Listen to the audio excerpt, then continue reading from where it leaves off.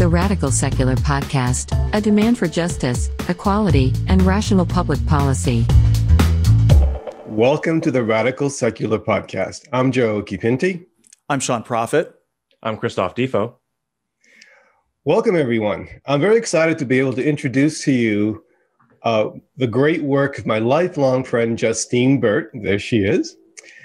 I've known Justine for close to 30 years, and in all that time, she has worked diligently to help the world become a better place. Truly, she is among the most dedicated people I've ever had the pleasure of knowing. Before we begin our interview, I want to remind you all that if you like our show, make sure to subscribe, leave a review, and tell your friends to listen. New episodes post on Mondays at noon Eastern on YouTube and all the major podcast channels. And if you're into reading, check out the blog at theradicalsecular.com. Visit our website at theradicalsecular.com and sign up for free access to exclusive content and giveaways, our full library of episodes, and articles at the Radical Secular blog. Email us with your comments and suggestions, and follow us on social media. But first, the news. We have so much to talk about on this show. I want to keep the news segment short and sweet for this week. Sean, Christoph, and Justine, what do the viewers need to know? What are the key highlights for the for the week?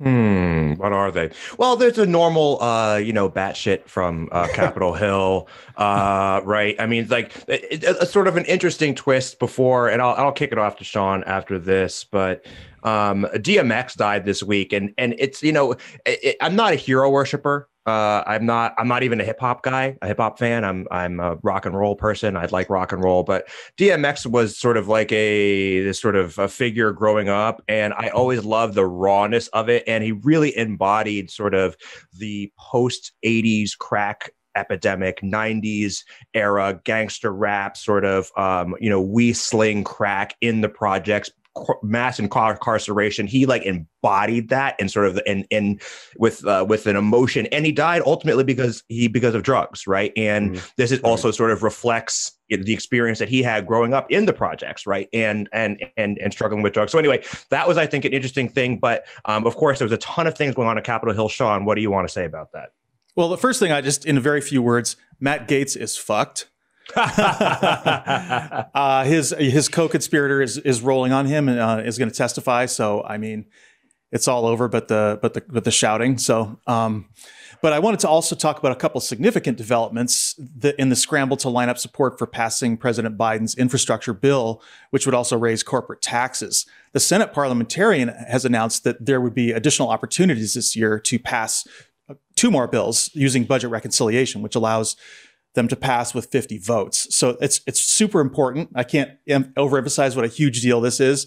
Um, but uh, on cue, Senator Joe Manchin reiterated that he's not going to support ending the filibuster, which also probably means he's not going to vote for Biden's bill without Republicans. So it's kind of you know, two steps forward, two steps back at this point. Uh, he's demanded that Republicans be included in negotiations, stating that the January 6, 2021 U.S. Capitol attack had, quote, changed him, and he wants to insist on bipartisanship.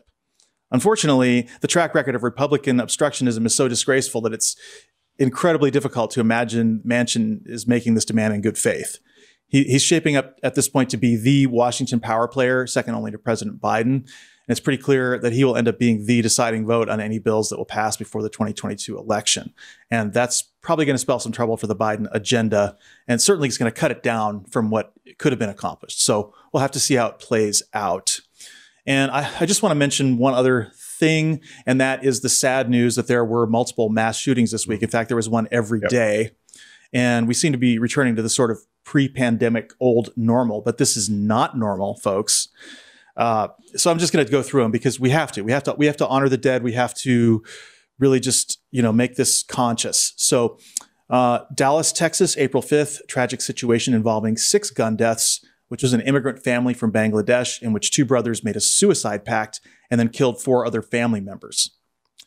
In New York City on April 6th, another typical male rage killing. A man went to his nine year old daughter's birthday party and later in the evening shot the mother of his child and two of her other daughters, then killed himself. The nine year old, fortunately, was unharmed physically, but she's going to be destroyed mentally. So, uh, in Rock Hill, South Carolina, on April 7th, a prominent doctor and his wife and their two grandchildren were shot by former NFL player Philip Adams, who then killed himself. And on April 8th, in Bryan, Texas, a gunman shot six people. One died, and the rest are hospitalized for in critical condition. I just I hate having to talk about these every week, but we can never ever act like this is normal. It, it's it's just a an ongoing disgrace, and it's the direct result of that terrorist organization, the NRA. Enough said. So I'm sure there's a lot of other things we could talk about, including many states opening up their COVID 19 vaccinations to all adults. I got my first shot of Pfizer on Tuesday. But that's enough news for now. I'll turn it over to you, Joe, so we can spend the most time with today's guest. Sure. Thank you. Um, Christopher, Justine, do you have anything you want to add?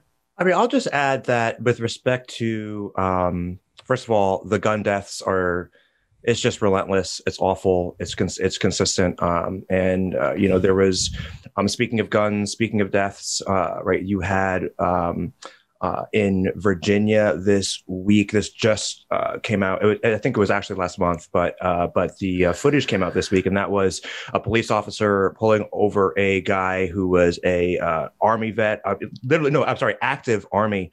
Um, and and and I mean, the the video is so shocking, and he wasn't shot, but this guy was frightened to get out of the car. He put his hands outside of the car and he says, "Look, the truth is i'm afraid that if i get out of the car you're going to shoot me right like mm-hmm. that and and he and this is all on the body camera and it is yeah. just so visceral and this right. guy this guy is uh, active duty so calm compliant he's a, he's a lieutenant a lieutenant. This is not some schmuck. And by the way, what kills me too is that he when he drove, they, they were so angry because when they pulled him over, he drove an extra mile down the road because he wanted to be in a very well lit environment because again, he was afraid if he got out of the car in a dark environment, he would end up shot. And that is the sort of situation that we are facing yeah. as a nation and as a community. It is appalling. And so um, I, I just saw that today and I, I was just I mean, I, I, don't even know what to say about that and the and the Chauvin trial and everything that's been happening. It, it's it's it's emotionally very taxing, and so like a lot of times I just put it out of my mind and block it out, but then it gets like it comes yelling back from time to time, and so I just think that's worth mentioning uh, also before we move on. Yeah, thank you, Christoph. I think you're absolutely right about that. Of course, before I we just do, wanted to tie two sure. things together, which is talking about gun policy, which you mentioned, and the infrastructure bill that, that Biden's been pushing, the two trillion dollars. Mm. I wonder if the infrastructure bill represents an inflection point in the country. I mean, I was just reading to pull a few things together. Um, we shouldn't be calling it gun control. We should call it gun policy. Mm. Yes. You look at the National Rifle Association. Great point. Most people don't know that their annual revenues are like $350 million. I mean, that's part of the reason why wow. these 10 gun policy changes that a majority of Americans, Republicans and Democrats, support universal background checks, making sure mentally ill don't have access to guns. Like there are 10 policies that a majority of Americans, a supermajority for most of them, support. And yet, because the NRA has $350 million in revenues every year, we can't get it. So I just wonder if this violence economy that is, is at the foundation of our economy here is at an inflection point. I mean, we have unlimited funds. Republicans want unlimited funds for military weapons, border control, prisons, surveillance. That's the violence economy. But what we need more of is the care, caring economy, the care economy and infrastructure rebuilding, restoring is, is part of that. And a lot of those are green jobs. So and right. that helps segue into what I want to talk about. But um, yeah, that's a brilliant segue and and right on point. Thank you so much for bringing that up. Yeah, it does, and that's why we had we we had you know we're very happy to have you here, have you on the show. Uh, so let's turn to uh, Justine and and um, her book, The Great Pivot. Also, would like to talk a little bit about the Thrives Act in the end of the show because it's so relevant to this discussion. So we are joined by Justine Burt. Let me tell you a little bit about her. Uh, Justine is currently the program lead for Future of Work, a nonprofit workers advocacy group called Manzanita Works in Palo Alto, California. She has spent much of her professional life as a sustainability consult, consult uh, for energy efficiency, alternative transportation, waste prevention, and many other similar issues. She has worked with NASA's Ames Research Center, with the U.S. House of Representatives, with many local governments, private businesses, and universities. Am I missing anything, Justine? No, that's that's enough. All right, that's good. so I've been, and it's a great, you know, it's a great resume, and it's it's a it's a wonderful, uh, you know, vocation that you've you've embarked upon in your life. We we're very grateful for it. I know I am. I've been teaching about social and ecological sustainability for more than 20 years in my own work, and I found your book, The Great Pivot, to be timely, comprehensive, and detailed. Uh, your focus is both on human flourishing and ecological stewardship. And you show how the two things are so intrinsically interrelated. I appreciate the emphasis on the economy, and particularly in highlighting the way societies can create a healthier, more sustainable place in this incredible and precious living planet. I really enjoyed your book, Justine. And I'm not just saying that, I really did. It's, it's not only how forward looking it is, but also how it provides us with a blueprint to move forward. And so we are very happy to have you here. Thanks. You're very welcome. Absolutely. I mean, I just want to say that when I heard that you were coming on the show and I read your book, I'm just super excited because I, I, am kind of a geek in these areas, and your book is just super impressive. So, wow. Yeah. Yeah, so it, it, it, I, I, I frankly didn't get to finish your book, um, but I am, but I've uh, been looking forward to being here. And and what's really this is an area for me which is uh, not sort of where I'm in the weeds. So um, uh, this is an area that is uh, very much a topic for learning for me. So I'm looking forward to hearing your expertise on these issues. And uh, it's it's it's fascinating stuff and great work that you're doing. Thank you for being here. Thank you. Well, I wrote the book in part because I was concerned about outsourcing millions of jobs and automating away millions of jobs. And I was looking at the fact that 4.2 million people drive for a living, while Elon Musk is talking about self-driving, rolling out self-driving tractor trailers and taxis and wondering what is the future of work going to look like? Are we just going to let you know, automation continue to happen, which honestly, we need automation to get rid of dull and dangerous jobs, mm-hmm. but we don't need automation to get rid of all the jobs. There's, there's a lot of work that needs to be done. And so, so that, that was kind of my frame of mind when I was writing the book. And then the pandemic happened. Mm-hmm. And Biden came right. into office after Trump just made a huge mess with the economy and officially, when Biden came into office, we were down 10 million jobs below where we were before the pandemic started. But that's just the official unemployment rate, the U3 unemployment rate that we all hear about. Right. There, he actually came into office with us being down 26 million jobs. Because if you count all the people who have given up looking for work, or the people who had a few interviews last year but nothing came through, or people working part time, eight hours here, eight hours there with no benefits, who really want full-time work with benefits, it's 26 million Americans. And we could easily create 26 million green jobs. Yeah, 26 million. Wow. I mean, that's that's a staggering number, isn't it? Well, but first, before we get to the stuff, which we will delve into in great detail, let's talk about our t-shirts, as we usually do in this show. So here's mine. You guys are gonna love this one.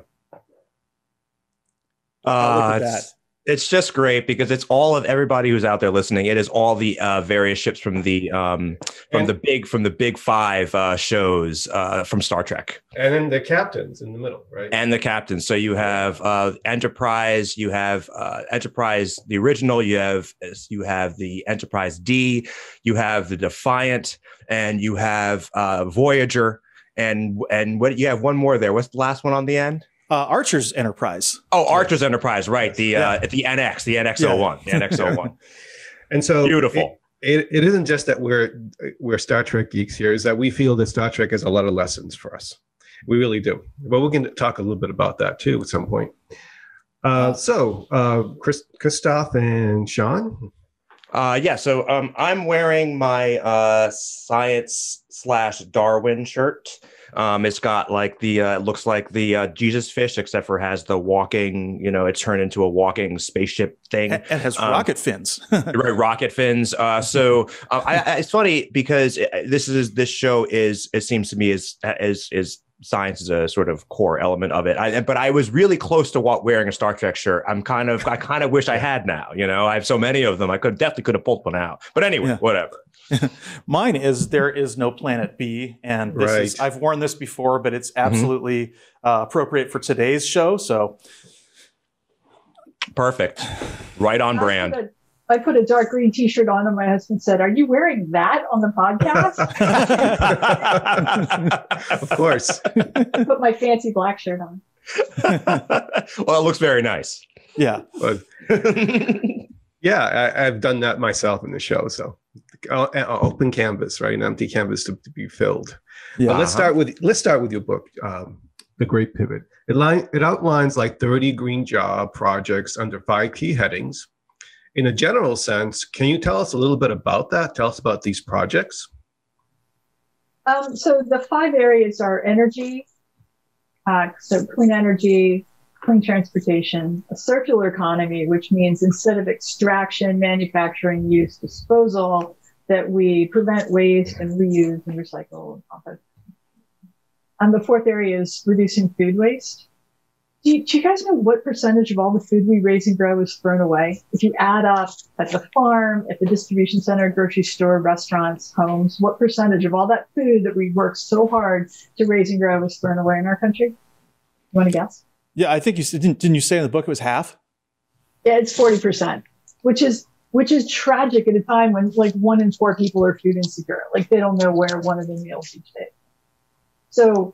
Energy, transportation, circular economy, reducing food waste, and restoring nature, restoring healthy forests, healthy waterways, uh, healthy soil. We could be sequestering carbon in the soil and restoring wildlife population.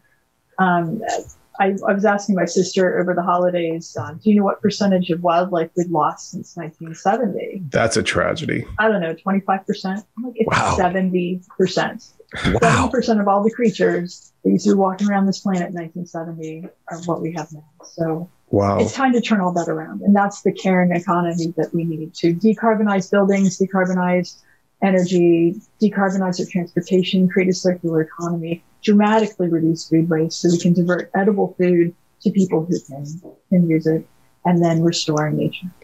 And there's 30 projects in, in those five areas. Yeah, um, those are some powerful numbers, Justine. And, and I know sometimes we just gloss them over. You know, we hear 40% of food is being wasted, but think about it. I mean, just think about how much the massive volume of resources and energy that it takes to, to produce that much food. And then the other number, even more staggering 70% of uh, wildlife eradicated in the last 40 years or something like that. And I've seen those numbers. It's just heartbreaking. Um, what do you guys think? It, it's it, it's astonishing, frankly, and um, and and really depressing. I mean, you know, we talked about Star Trek earlier. We're talking about that later. We're talking about the these sort of these global issues, and I wonder if it's the what fact the way that our brains as humans develop that we just don't think about. We don't tend to think about these things in these big, broad. These these numbers and these figures are are, are so overwhelming. Um, I, I, it feels like my brain's just not capable of wrapping it, wrapping my mind around that. It's just good wow. point. Yeah. Well, one of the things I would mention is that if you remember driving uh, 40 years ago, 45 years ago, and how many bugs you would get on the windshield compared to how many bugs right. you get on the windshield now, it's astounding. I mean, I remember mm. we used to have to scrape. My family had an RV. We used to have to scrape the windshield, especially driving around in the South.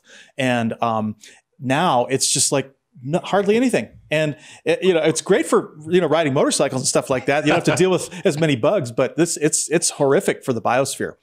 Um, I, I, wanted to talk a little bit about about Justine's book, which I thought was excellent. Um, and I, I especially liked your specific proposals for the sustainable and meaningful jobs that you just mentioned. And I love that you mentioned in the book David Graeber's bullshit jobs because yeah. that that is such, such, a great book. such an incredible book. And and this is when i get into conversations with people about basic income and about other things and they talk about how we can't afford it and everything else like that and i go hey we're paying 50% of the people to sit around and do nothing. So um, basically already. So you know um, the other thing is i really liked that you referenced paul Hawken's book drawdown and and that that is that is excellent. And I wanted to mention right there that the top thing that he mentions in that book is dealing with air conditioning refrigerants.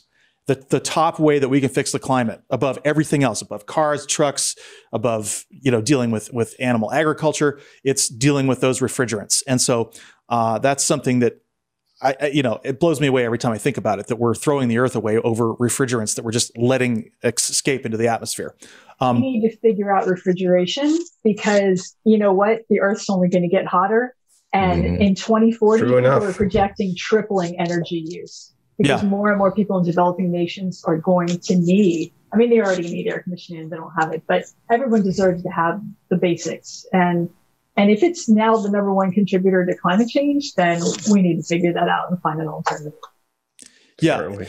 Yeah, and then so I also wanted to mention the books Cradle to Cradle and by Michael Braungart and William McDonough, and another book by the same authors, The Upcycle. Uh, and then there was Natural Capitalism and Reinventing Fire by Amory Lovins. Your book is newer and more updated than all of those and includes more info on chronic unemployment, economic inequality. And I also really appreciated the section where you discussed how GDP doesn't really measure our true progress because you don't really hear, you hear a lot of economists talk about that, but you don't hear a lot of in, in, environmentalists talk about that. So um, your book is really a one stop shop for anyone who cares about positive change. And who doesn't want to read all those other books? You have to read about 20 books to get the, what's in yours. well, I uh, appreciate your podcast here. And I listened to Roots of Our Rage this morning and just really loved it. And I'm like, oh my God, it's going to be better than I thought it was. awesome. Riff on David Graeber's definition of bullshit jobs for a minute. Like, this seems like the place to do that. I mean, okay. I have the definition right here. It says, bullshit job is a form of paid employment that's so completely pointless, unnecessary, or pernicious that even the employee can't justify its existence. Even though, as part of the conditions of employment, the employee feels obliged to pretend that it's not the case. And in one interview, David Jaber, David Graeber said, um, you know, if, if anything came out of my research, it's that the person who holds the job is the only one who gets to decide if they think it's bullshit or not. And and just after he wrote that strike article, bullshit jobs or rant, he people tweeted hundreds of people tweeted him to talk about how how much they hated their jobs and it, it just created this void in their soul. So I think people deserve meaningful work. I mean, there are 200,000 property managers in the Department of Defense, and we're spending 125 billion dollars over five years for, for them. So, like, yeah could we like create more of jobs that give people purpose and meaning and like maybe cut away some of the jobs that don't make people's souls sing? People deserve better, I think. Yeah, I mean, even uh, I mean, Karl Marx talked about it with alienation of, of uh, work. He, he, he gave a huge, uh, you know, uh, treatise on that, and we've just learned so much more since then, right? About the uh, what it means to be to be uh, to have a flourishing life, and one of them is to, is to have meaningful work. Mm-hmm. But I, I do agree, uh, you know, with Sean. I, I'm really struck by just how forward thinking and how positive your book is, Justine. And it really focuses on solutions and it's visionary in that way. And I love that. We all love that. It's one of the reasons why like we are talking about before, that we love Star Trek because here on the show we're we're uh, we believe in that vision that's presented, and, you know. And I mean, Mark, what do you think? Am I right, guys?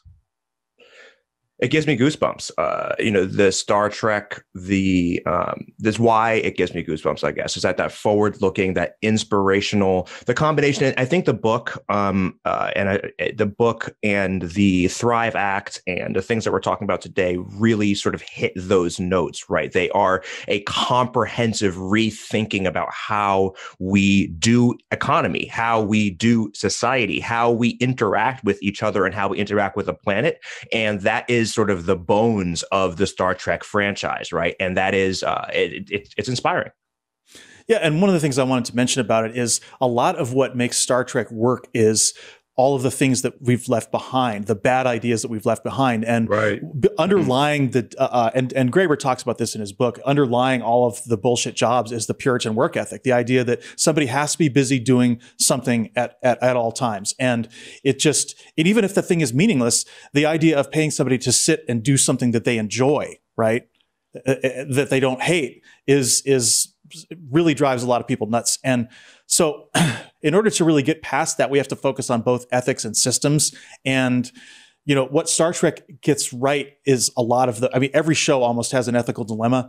And, and it's not just that, it's specific respect for non human forms of life. And right. that is one of the things that it gets lost when we talk about the biosphere with people who don't understand what's going on. And uh, they think an, environment is just about, okay, well, changing your light bulbs or recycling or whatever. They don't understand what is going on with the biosphere. And we, we talk about the consequences of resource depletion, pollution, and climate change for human civilization. Everybody's like, oh, it's going to be a disaster.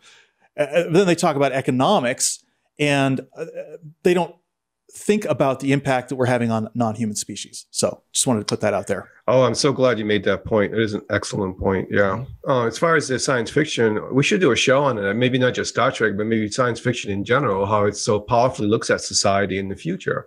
Uh, there's so much to talk about. So many great books and shows and films that have tackled the issues of social justice, what it means to be human, what, what it means to thrive, you know, and obviously there's a huge dystopic side to science fiction, which is also very, you know, it, it provides great lessons as well.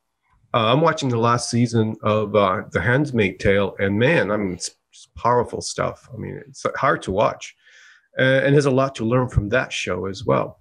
What do you think? Well, I mean, I'm a lifelong sci-fi fan, not just of TV shows, but books. A big fan of David Brin, Robert Heinlein, mm-hmm. Ray Bradbury, Philip K. Dick, Roger Zelazny, Philip Jose Farmer, Isaac Asimov, Arthur C. Clarke, all the greats. Um, one of my favorite quotes from Arthur C. Clarke, it's relevant to the show, is Nature is a very strict accountant and always balances her books. Mm. That is from the Songs of Distant Earth.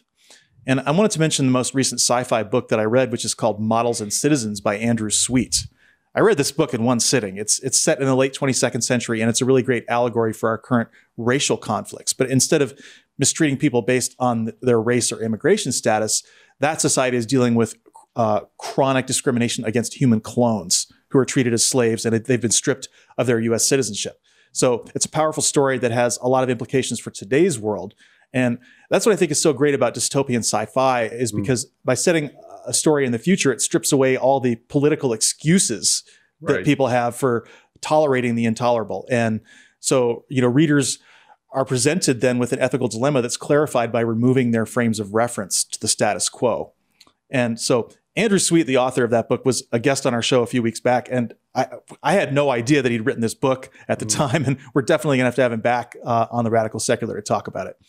Yeah, for sure. And funny enough, I've already I've already talked to him about that because he wrote oh, a blog. Okay. He wrote a, he wrote a blog post for us uh, a couple weeks ago, and uh, he's great. Andrew, uh, great guy, uh, but former uh, military, just a great guy all around. But bottom, what I'm getting at is that he, uh, we already discussed that he he's definitely going to come back on the show. It's we just have to schedule it. So Paul, hopefully mm-hmm. within the next month or so. So.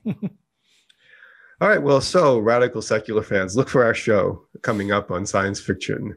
Uh, but w- and also with that in mind, let's start this conversation with what I think is actually the easiest part of the solution: uh, green technologies. Then we can move to the harder stuff: politics and culture. Man, green tech has come a long way.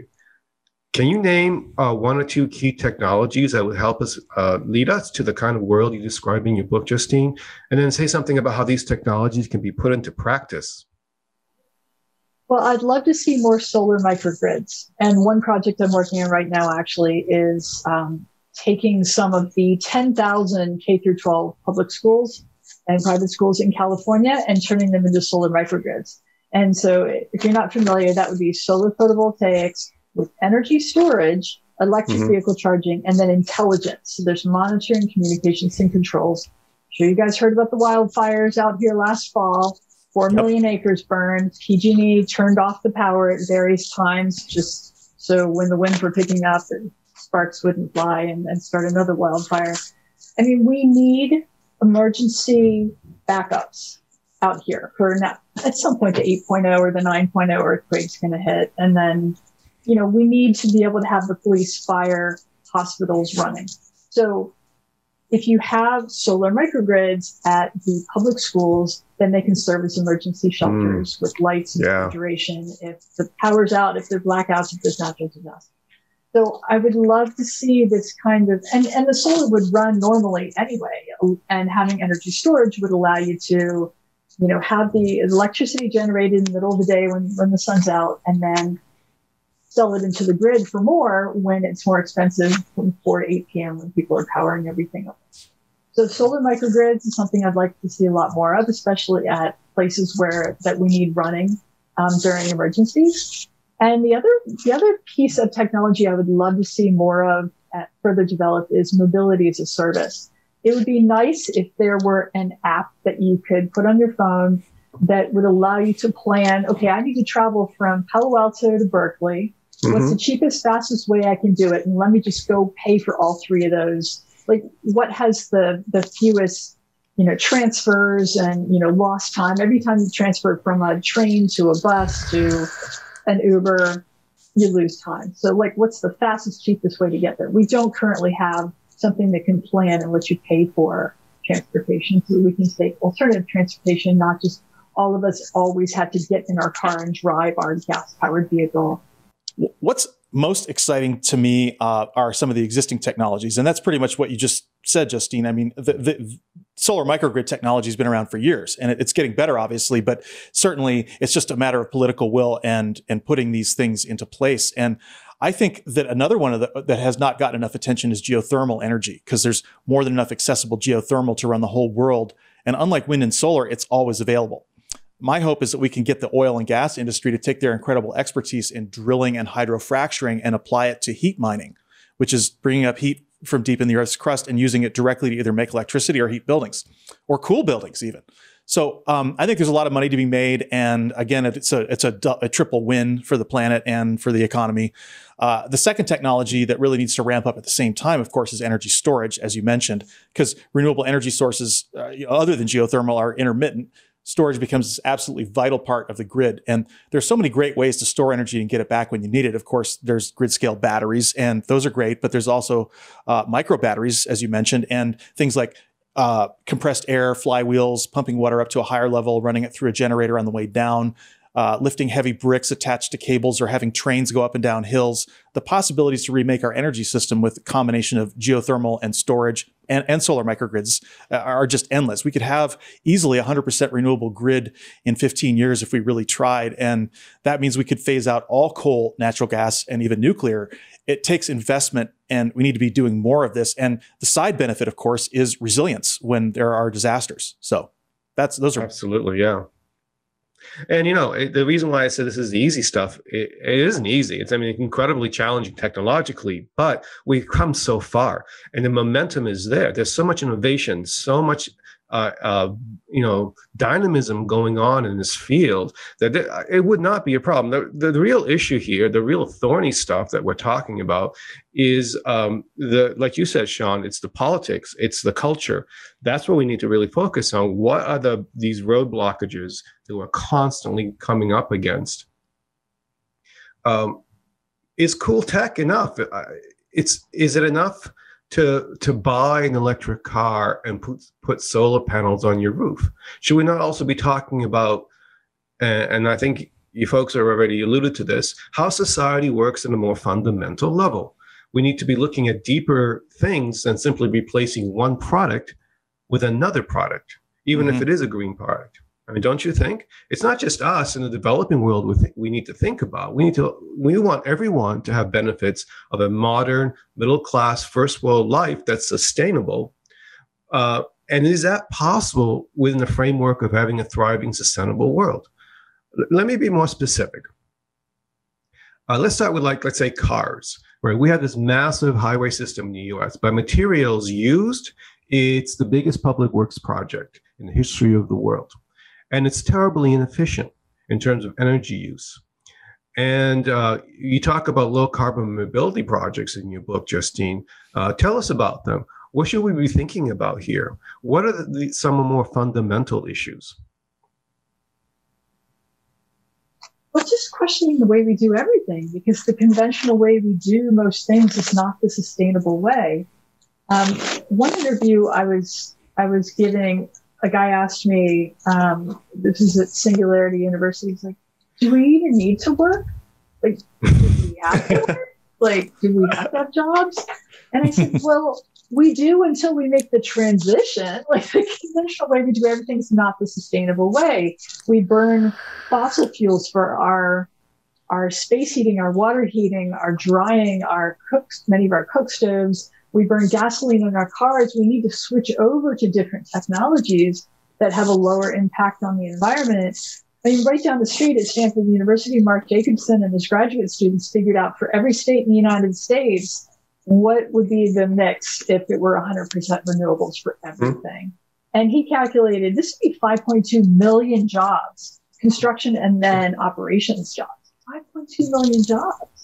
And yeah. then they, and now they're calculating for every country in the world, what would it take, what would the mix of renewables look like if you were 100% renewable? I mean, there's a lot of work to change over the way we do things. So we do need green jobs at this point maybe at some point we all can do the things we really love, like painting or playing music or you know hanging out with friends at a picnic in the park. But for now, there's there's work that needs to be done. There's way from bullshit jobs to the work that really needs to be done to enable this.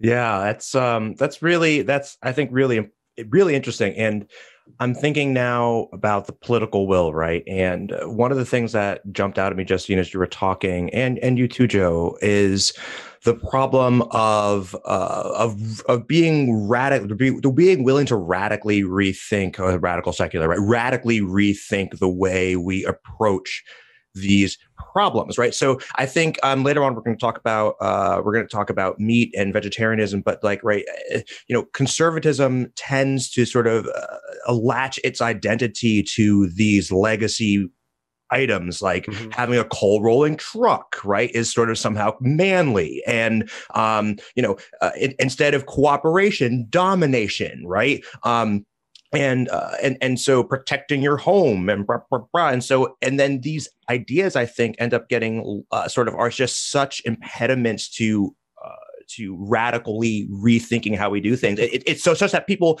can't even wrap their minds around the uh, think doing things doing things differently. And and then what happens on top of that that's the feeling i think the sort of gut sort of conservative feeling right? The, the, the resistance to change. And then do then they pile on bad faith arguments right? So that's that that's that's sort of the, the, icing on top which is like oh no it's going to cost so much money. We're going to talk about how much these things cost them um, and later on in the show it's not going to work because it costs so much money. Oh, I'm not going to be able to eat meat. Oh, I don't want to be able to drive my car. So anyway, um, I just think so. As you were talking, that's sort of the things that jumped into my head. Um, but uh, really interesting stuff. Yeah, I, I just want to say uh, also sure. that, I mean, this what Christoph is talking about. The resistance is huge. It, it, everything from you know mask wearing uh, and getting people into uh, into alternative transportation are the same problem because yes, people yes. have have associated their individual freedom with having an individual car. And you know I, I could talk about transportation all day. It's huge. Uh, um, i love public transportation. I love electric cars. But what I especially love are autonomous electric cars because it severs the connection between the personal vehicle, right? Because it, it, it, solves parking. It solves this problem, Justine, that you were talking about, about multimodal transportation, being able to plan your trip. And, you know, at a certain point, uh, uh you know, an autonomous car just comes and picks you up and takes you to, to the next part of your journey. And, you know, that will slash car ownership. It will allow cutting down on parking and, you know, the parking subject doesn't really get enough attention at all. And you mentioned it in your book. Um, parking lots are one of the biggest wastes of prime mm. urban spaces in existence. Even cutting down parking by half would allow cities to either be more dense or do things like open up green spaces and gardens.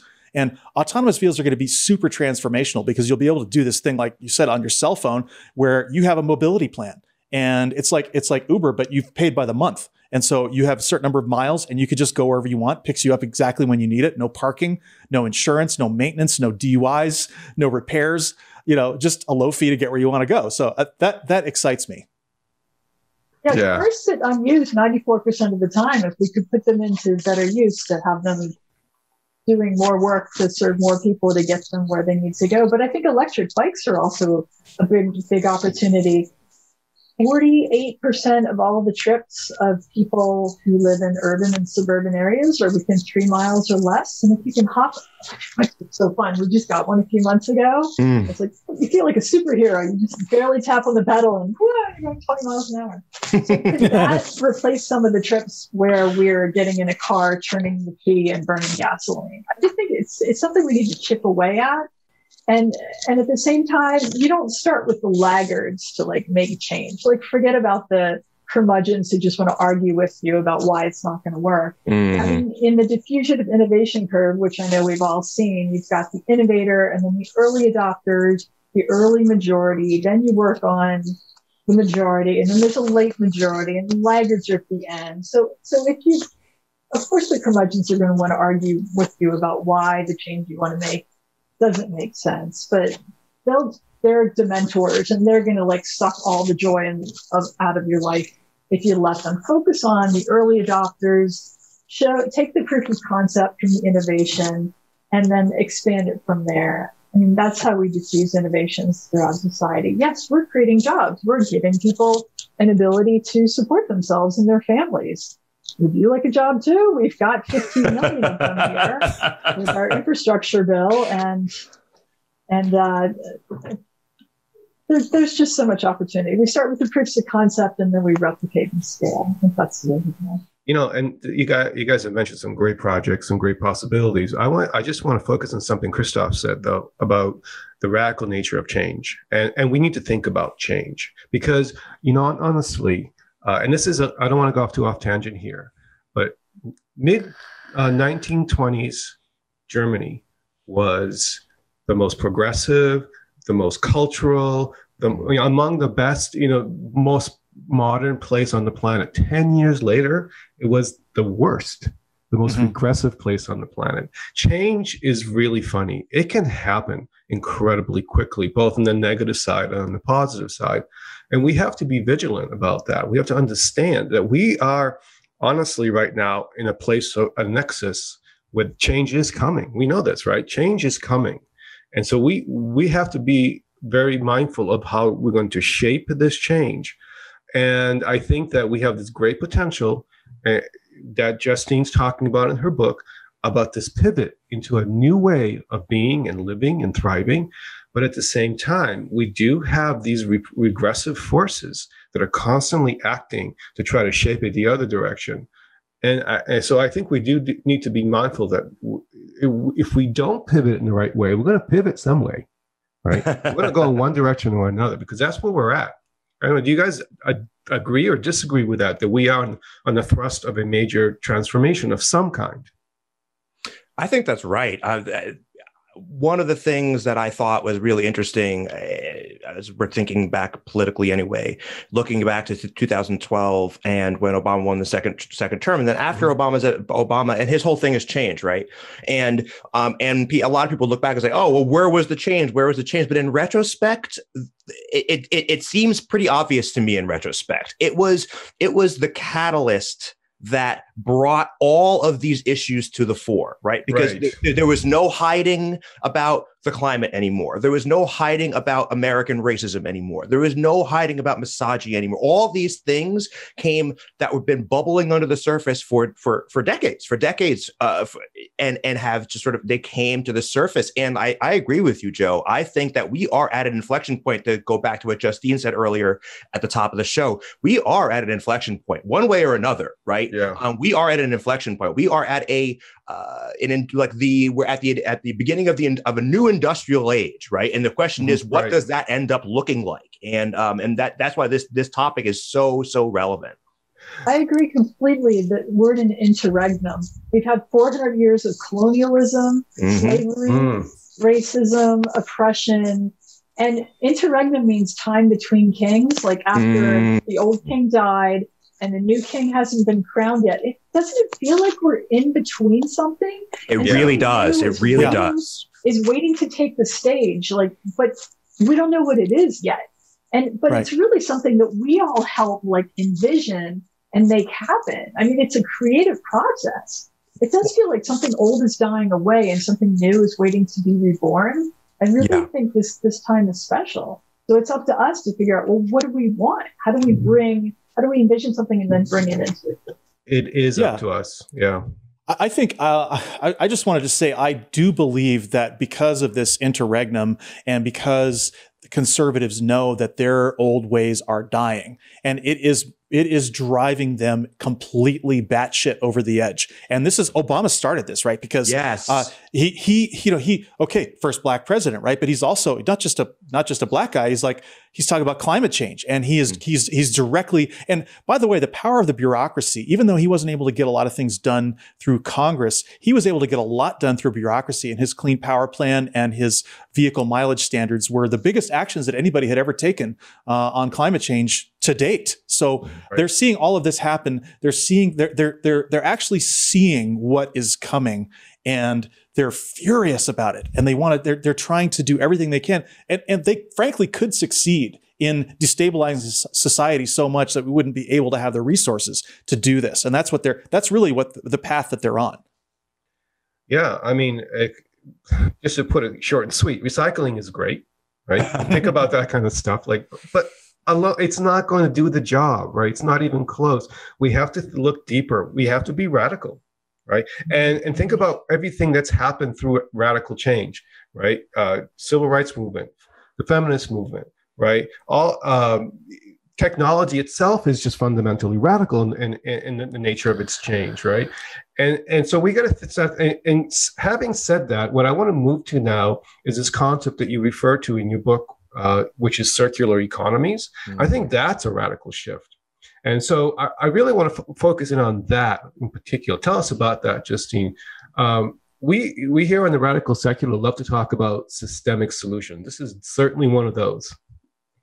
It's re- it's really a shift from a linear flow of extraction, uh, raw materials, manufacturing, use, and disposal I mean, here in California, we, we're so proud of our great recycling rate, but it's really only 37% when you look at the whole state. And that nationally, it's 32%. Like oh. only 9% of the plastics are being recycled, and everyone's throwing all their plastics into the recycling bin. Meanwhile, like 46% of all the plastics in the Pacific Ocean and the gyre between Hawaii and, and California are abandoned fishing nets, nylon six fishing nets. And so I'm just interested in what are the pilots? What, where if somebody tried a solution and it's worked? Right. And so Aquafil is this Italian company that's working with volunteer scuba divers to go collect those nylon six fishing nets, and then they pay the fishermen to cut off parts of the nets, fold them up, and put them in thousand pound bags, and then they're shipped to Slovenia, where they're recycled into new swimsuits, socks, new hmm. carpeting. I mean, we could be reclaiming more of these plastics and turning them into new products. We've been just relying way too long on let's just ship it to China and, you know, see what happens. Well, turns out China wasn't recycling all those plastics anyway. And now that China's refusing them, Malaysia and Indonesia, Argentina are saying, we'll take them, but they don't really have infrastructure to mm, yeah. We need to do a better job of like making things last longer. Shirts should last more yep. than three uses. You should be able right. a shirt for five or 10 years, right? Um, how do we buy things that last? How can we make sure we can repair them? Having tool lending libraries, repair cafes and maker spaces. How do we reuse things as much as possible? And then upcycle them when they've outlived their, their useful life. That's the circular economy we'd like to get.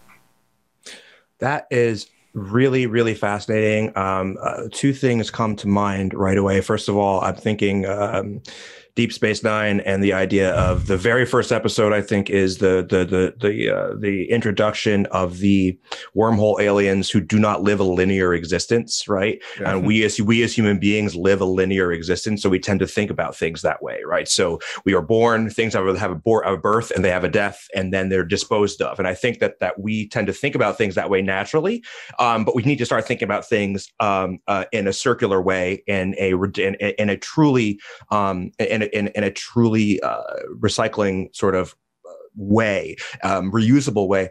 Um, and and in terms of recycling, that's another thing about the human psyche, right? This idea that it makes people feel good that oh, I, I separated right. my I, I, separated my uh, my plastics, right? I'm good. I'm good. I, I, did my part for the world. Oh, and by the way, I buy uh, I'm I don't I don't drive a gas a gas guzzler, so I'm good, right? I mean, that's it. That's all we got to do.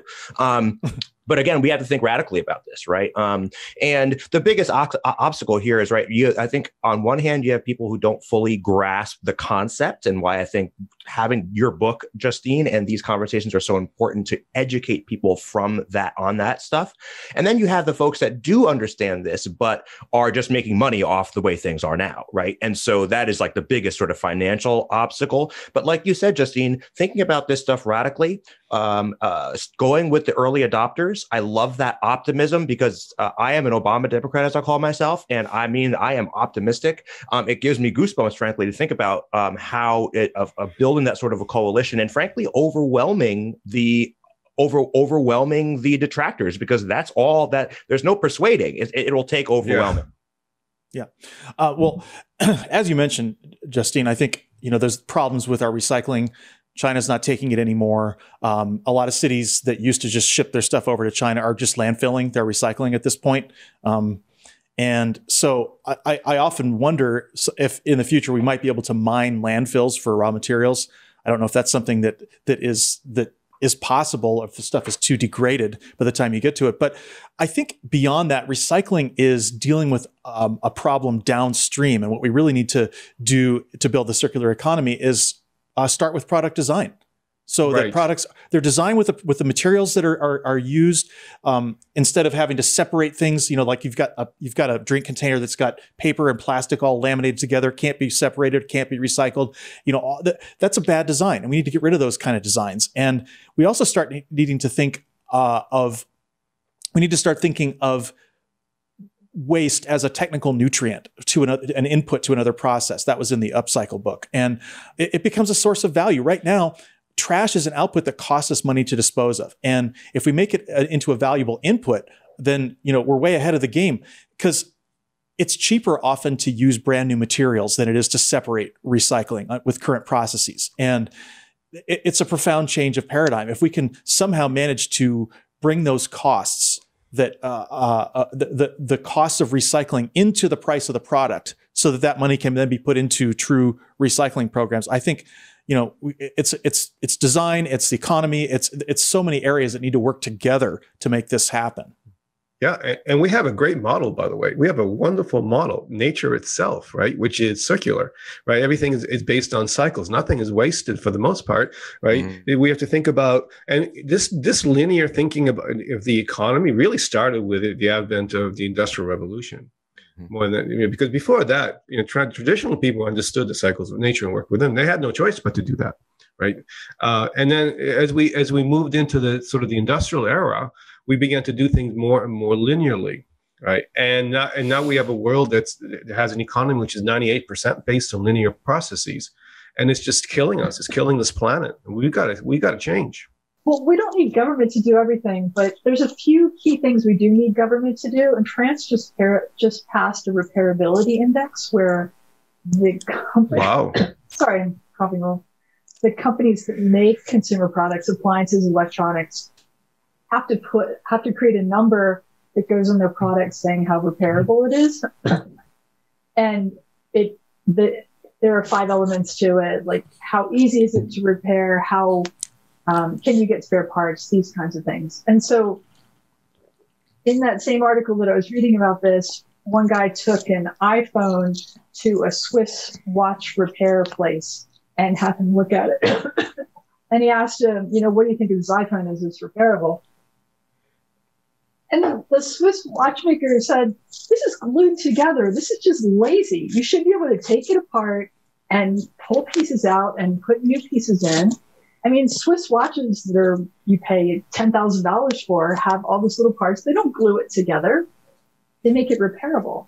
So we could be doing more of that, designing for recycling with our products. Mm. Um, there's also an opportunity, like I, I, tell the story about the thrift store in Lane County, Oregon, where they hired a full-time fashion designer to take a look at this like river of donations that people were making and sorting through them and figuring out what can I upcycle.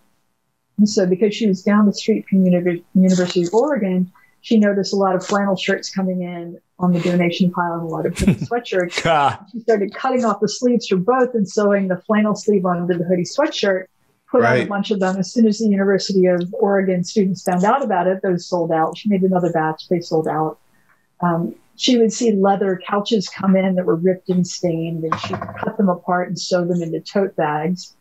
And so she took their average daily sales from $500 a day to $1,500 a day, which gave St. Vincent de Paul, which is the which is the social safety net for that county, an extra $300,000 a year with which to help people. More than pay Wow. for her labor.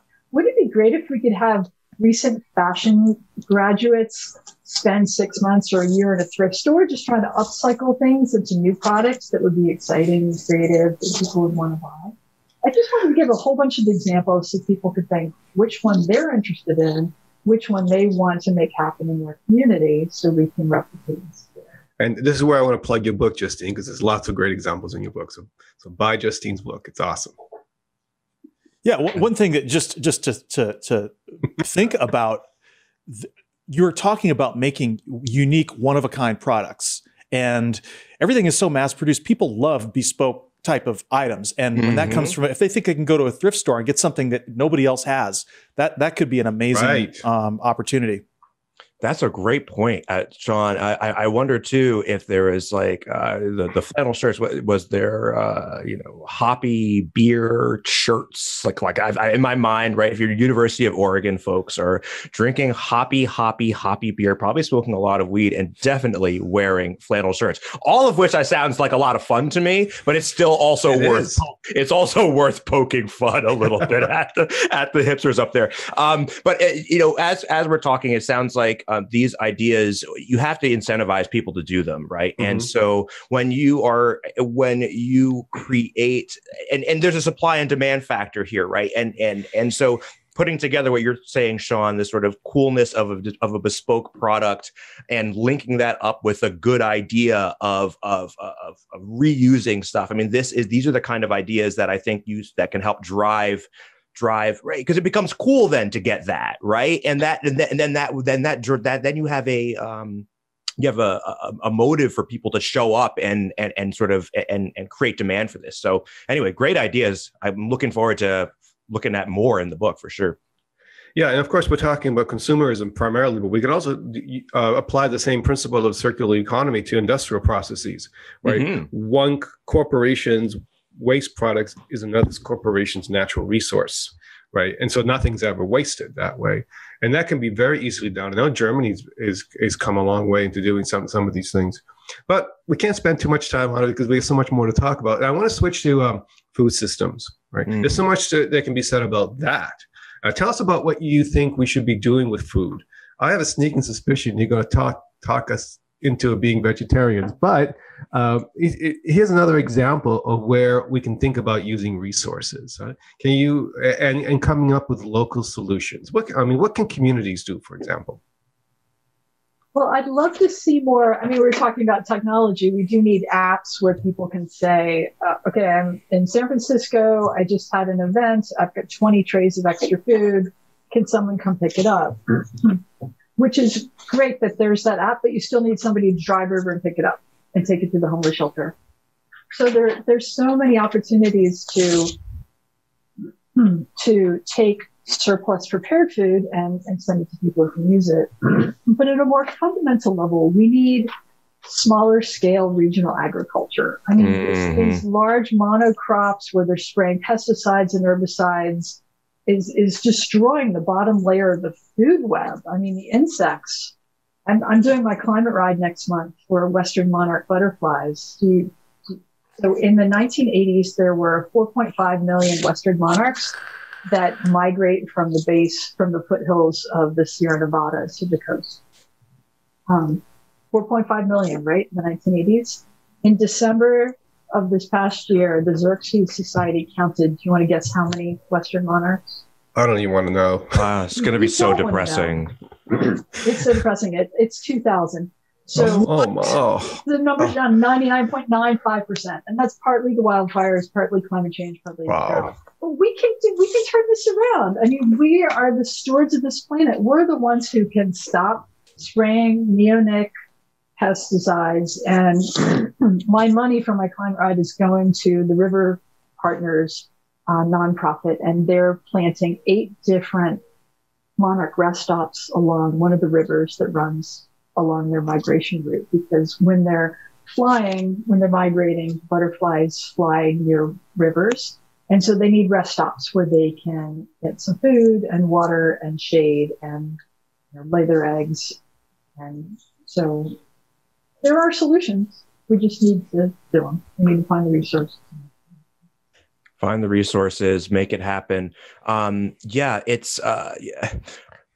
It, we keep coming back to this problem that there is, uh, for whatever reason, the incentive structure is that making a ton of stuff like conglomerate, uh, sort of huge corporations merging with each other, making a ton of stuff, right? Because the goal if you're a corporation is 100% market share, right? That is every corporation's ultimate drive but that is the natural force of a corporation right? So um and and so you try to do that as well as so you the way you do that is merge. And so you get these gigantic sort of um, these gigantic companies that do the like you say these monocrops and the and then to then you have to transport them right? And so then you have to spray them with the pesticides and et cetera et cetera et cetera. So i mean i'm just um how i'm just thinking i don't think that anyone needs to have an answer to this right now, but sort of the problem that comes to my mind right away is like, do we have the government? How do you do this, right? How do you get the government? Because the only only organization that's strong enough to force companies to stay small and regional is government, right? Mm-hmm. And um uh, and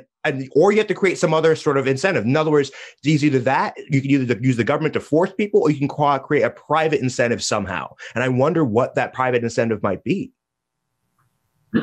well, it's a really good point. A lot, a lot of the thinking when I was preparing the book was around, you know, what is the private sector really good at doing? Mm-hmm. They, they can unleash a lot of resources and get things done efficiently and quickly. What is the nonprofit sector really good at? They are people focused on mission and goals, and they work in a lean way. And then what do we need government to do? What is not going to happen unless government does it? And I really came up with three things set goals where the state of California said, okay, we're going to reduce our greenhouse gas emissions 40% below 1990 levels by 2030. We also need government to, um, at the city level, develop ordinances. Like if you're going to tear down old Victorian houses in Portland that were built before 1916 and you're throwing away solid oak wood flooring, wood banisters, mm, um, mm. wood framing is half the value of, a, of an old house um, clawfoot tubs, porcelain sinks, you, you have to salvage it instead. And here's $2,500 of grants for the first year for each project. So government, we need to set goals, develop ordinances, and most importantly, I have an economics background, so do forgive me, address negative externalities. If yes. someone's doing something that's pushing a cost off onto somebody else who didn't ask to bear that cost, my best friend's son has asthma. He didn't ask to have worse asthma attacks when the air quality is bad. Mm. And yet he suffers from us burning fossil fuels when he has asthma attacks. It's government's job to take that situation where negative externality is being pushed off onto someone else, levy a fee on it, and you disperse those revenues to pay to fix it, to do the more. So that's what we need government to do. And then the, the private financial sector has a role to play too. They've raised trillions of dollars for climate solutions they want to be able to invest. We just need to get the projects ready for them to mm.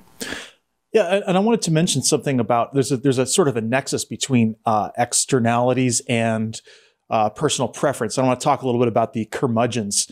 And uh, you know, just a few minutes ago, we were talking about food and and mm-hmm. food uh, waste and all that. And I have to talk about what it's going to take to give to get people to give up the taste of meat because that's a big impediment to solving the climate crisis. And it's also a big political identity position in many parts of the US. Conservatives and especially conservative men take extreme pride in eating meat and grilling that whole culture. And so if if you deal with the externalities of, of meat production, that that's going to raise prices, they're going to scream and holler about that and they're going to attack politically, you know, anyone who is trying to solve that problem. And some of the people who are trying to solve, there's been a meteoric rise in the last few years of plant-based meats that are really good. They're, they, it's a whole different world from the kind of, you know, meat substitutes that used to be around when I was growing up. And, you know, we, we might get in the next five years things like lab grown steaks that are almost as indistinguishable from the real thing. And, um, you know, but there's this there's this problem with libertarians and Republicans and and and men specifically who are really upset about how people are trying to tell them what to eat. I, I, I read recently a really bad, bad sci-fi dystopian book by a conservative author, and he spends at least 20% of the book complaining about the horrible future of food and how it's all going to be bland and tasteless, and everyone's going to be forced to eat kale and processed bugs. and, you know, it's just this morbid fear among conservatives that someone's going to tell them how to eat. So I, I don't know what to do about that part. Have you tried Beyond Meat or Impossible Burgers? Oh yeah, I, have, I eat them all the time. I all love the them. time. Yeah. yeah. I think they're great. They're great, but of course, you know, my mind, my prop, my, uh, I'm open minded to that, right? So I'm I'm coming into it wanting it to taste good, not wanting it to taste bad, right? So it, so it's like it, it's a it's it confirms what I already want it to sort of taste like. But it, I think it's great. I I can't tell the difference between a a burger. I went to to Burger King specifically to get their Impossible Whop, Whopper. Yeah, uh, I hadn't I haven't had it because I haven't had a Whopper in years, and I had and so I had it. and I was like, this tastes like the Whopper I know. Like, yeah. I mean, it, it absolutely does. We don't eat, we don't buy ground beef anymore. We just buy Impossible Burger, you know, uh, meat and and and make the burgers. We make them just like normal with a, with a patty and everything. Grill them, and they they taste great. And um, yeah, I, I, but there's a lot of conservatives who will just say, "You'll never get me to eat that shit." Mm-hmm. You know, mm-hmm. it's just That's like right. Overwhelmed meat at every meal, breakfast, lunch, and dinner, and I took them for Impossible Burgers at um, Gott's Roadside recently, and these are great. yeah, they are good. They really objectively are good. Let's move on to a more philosophical question. What I want to talk about, and you mentioned this a lot in your book, what does human flourishing look like? What does it mean to thrive? And I know uh, you place a great emphasis on meaningful job. That's one thing we already talked about. We talk about uh, about that a little bit more. But what about what does it what does it mean to have meaningful communities? We are social beings after all.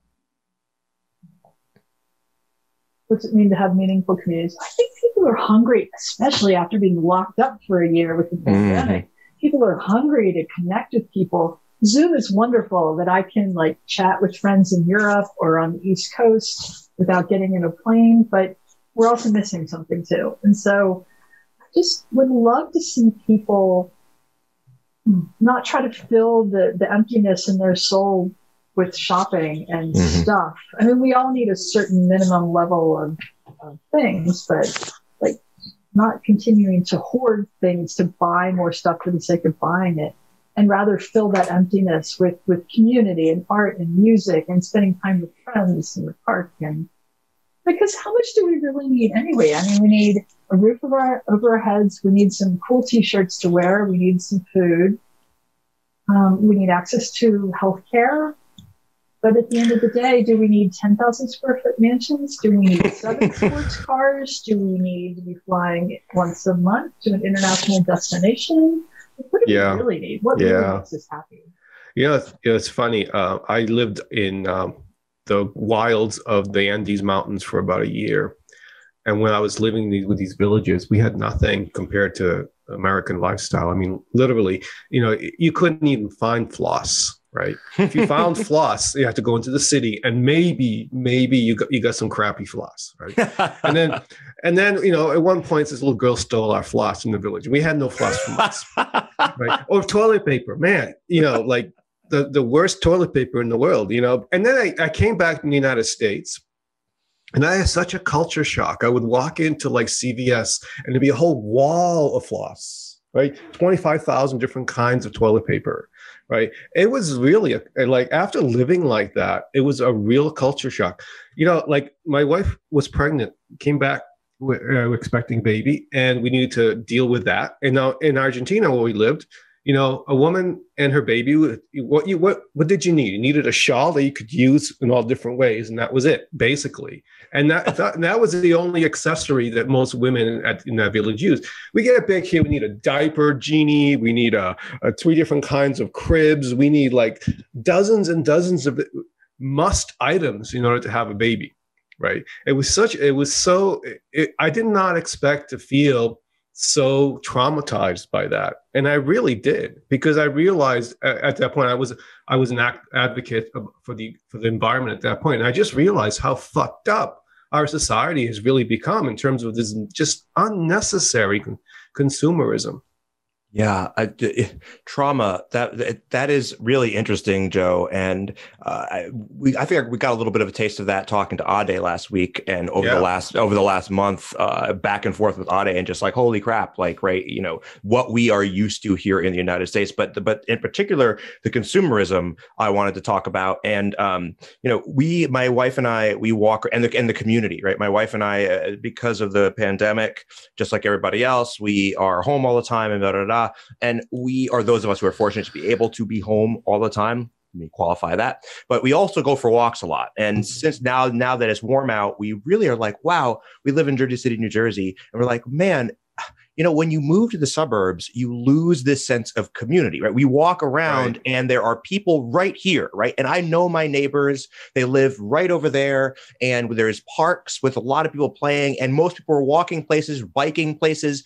And when you go and and so you, this and there's real value to that because when there you is. go when you go out to the suburbs and everyone's in their little box car driving from one place to another, and you lose that. And the only way, by the way, you get that community is through perhaps like if you put your kids into soccer and you have your friends with the other soccer moms and then but then again now you are in a similar economic social economic class right so you are not connecting with people like we right. connect with people of all we live in Jersey City I mean there's like millionaires here and there's people who are immigrants and there are day laborers here too right like it's the whole gamut in our neighborhood right so right. um and there's something really valuable about that and and uh and it gives us a sense of community and I and I was reminded of that because of the pandemic and not being able to connect with people, plus the fact that it's spring and we were in, inside all winter long, I'm like, oh, that's right. This is why we live here. There's yeah. real value this, you know? This is really an important point that you're bringing up, Christoph. And, and I think that, you know, when you look at all of the refinements for urban areas that are possible with green, you know, redesign of cities. Okay, a, a more sustainable society is already a much more meaningful one, and and we yes. we tend to uh, un- underestimate this level of trauma that our current capitalist society produces. All the things you mentioned, it's not a byproduct. This is by design. Okay, people know the system hates them right now, and they hate the system in return, and all this fear of, of job loss, loss of one's home, not having health care, being deep in debt with student loans, it all forces people to confront these traumatic realities that, and, and then they're forced into awful choices to take unfulfilling, low paying jobs. It's, it's really, this all comes together. Everything we're talking about comes together in our cities. And so people, all their time is consumed they're, they're, suffering abuse and neglect at these jobs. They, they, have little time to themselves to develop their skills. They feel like they have no purpose. So it leads to domestic abuse, addiction, general rage, heartbreak, and it, and it goes beyond even that. Everybody knows nature is dying, whether they mm-hmm. want to admit it or not. People see it. The world, it's already radically different from the way it was when I was growing up. And I feel the sense of mourning basically all the time. It, it's a low level fear for the future and grief that never goes away. So getting rid of that would lift this huge burden from everyone. Having a sense of hope that we're going to be able to build a future that's better than the past instead of resigning ourselves to the to a dystopia. I mean, it, that would be priceless. Think about how we're programmed even by Hollywood, to expect that the future is going to be a disaster. Some of our best films, you know, Blade Runner, everything, it's always an ecological disaster. Okay. and, and changing those expectations would immediately improve people's mental health. And of course, the social aspect, denser communities allow for natural shared activities like co housing, community kitchens, gardens, other amenities giving people a real stake in their communities means that they will take care of their communities and you know do away with what you, you mentioned about these you know being people being in gated communities and boxes and and and just locked away uh, in their single family homes. It's destructive because you know it, it, it's it's you're creating a structural physical structural class. And if mm. people were more living together with with people of different racial uh, and class backgrounds then they would begin to see each other as neighbors and fellow citizens Yep, absolutely. Uh, you know, I, as an educator, I, I, I, used to teach climate change courses. I don't know at the moment, but when I prepared for those courses, of course, it was just heartbreaking to read to read the research on climate change because you see, you know, just how staggering the problem is. And I learned as a teacher, I learned that I had to be careful on how I presented this information because it really could depress people to the point of apathy and nihilism, mm. right? And, uh, it, again, I mean, it's really important to to be honest about what's happening, but at the same time, also say, but we can do better. We can get past this, right? We have the means and the ability. We just need the will to, to be able to, to make changes that will take us to a much better place. And I think that's a critically important message. And again, your book has that message. So that's, that's what's really important about it to me. Uh, but the question does arise though, and it has to be answered. Can we heal this great damage that we've caused to the biosphere? Is it possible? Right. I mean, that's a question I, you have to pose. This is why I come at it about job with jobs because mm-hmm. you can't conservatives can't argue with we want to create jobs so that people have income to support themselves. Mm-hmm. and we'd be doing this kind of work. Because the alternative is i mean just letting the marketplace create the jobs it wants to has brought us hundreds of thousands of additional soul crushing amazon warehouse worker jobs and doordash delivery people. I mean that's, that's right. what the marketplace has to offer us. And right. my 19 year old son who was came back from college and uh, said, "So I'm thinking of getting a part time job." I'm like, "Well, Amazon's hiring. They keep texting me." no way. like, I don't want to pee in a bottle. awful those jobs are. but that's what the marketplace yeah. is creating. We need to be more intentional. What kinds of what kind of future do we envision? And I'd love to see more science fiction like do some utopian as opposed to dystopian. I don't know if anybody would want to read it, but visioning of the future and then what kinds of jobs. And so the, the financial community, I, I interviewed Jigar Shah, who's the, the president of Generate Capital here in San Francisco. Um, they do project finance and, and they invested $5 million in solar microgrid in the Salinas School District that's six K through 12 schools. And he said, Justine, we've raised a trillion dollars for climate solutions, but we've only deployed 300 billion of it. There aren't enough requests for proposals out there. Wow. There aren't enough wow. projects. He's like, we're sitting on piles of cash ready to invest it. Help us do this. That's amazing. There's money. There are people who want these jobs. Like when when this recycling position came open for Alameda County to help the 10,000 workers do a better job recycling, 400 people applied for it and 399 didn't get it. Like people want to do this work. There's money out there.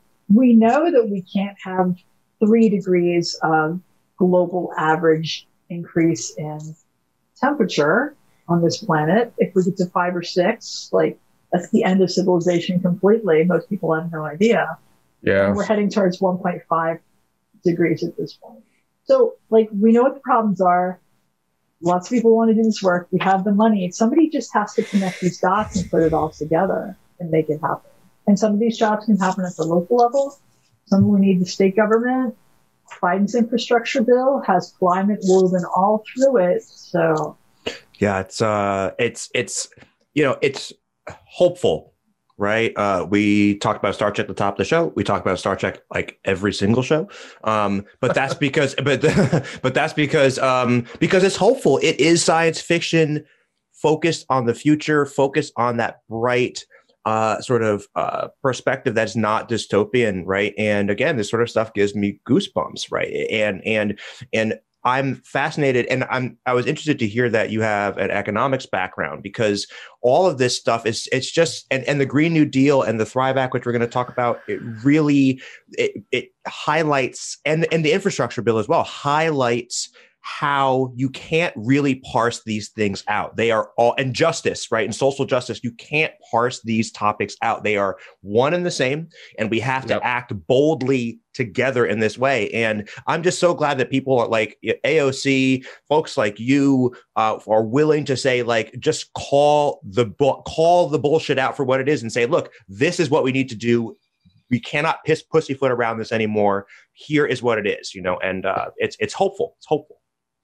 Well, I wanted to mention because you talked about having utopian sci-fi, and there is actually a good nonfiction book called Utopia for Realists by Rutger Bregman. Ah, yes. I don't I don't know if you've ever heard of that book, Justine, but it's really great. It's um, it talks about all kinds of strategies. It's kind of the antidote to bullshit jobs, right? Because mm-hmm. you have people with, you know, working 15 hours a week, right? And getting and having enough money to live. And that is actually what John Maynard Keynes predicted almost 100 right. years ago would be he happening did. by now, that people would be able to, to, to survive working 15 hours a week or less even and because because we know that industrial civilization can produce more than enough goods and services uh, without people having to having to just be attached to these bullshit jobs. So it's that is to me, I, I try to get everybody I can to read Utopia for Realists. Well, let's move on here. One of the things you talk about in the Great Pivot is to have good solutions, we need to understand what is happening. And we need better ways of measuring and assessing what is happening. And so, what's wrong with the way we're doing it now? Hey, GDP for the gold, right? Ah.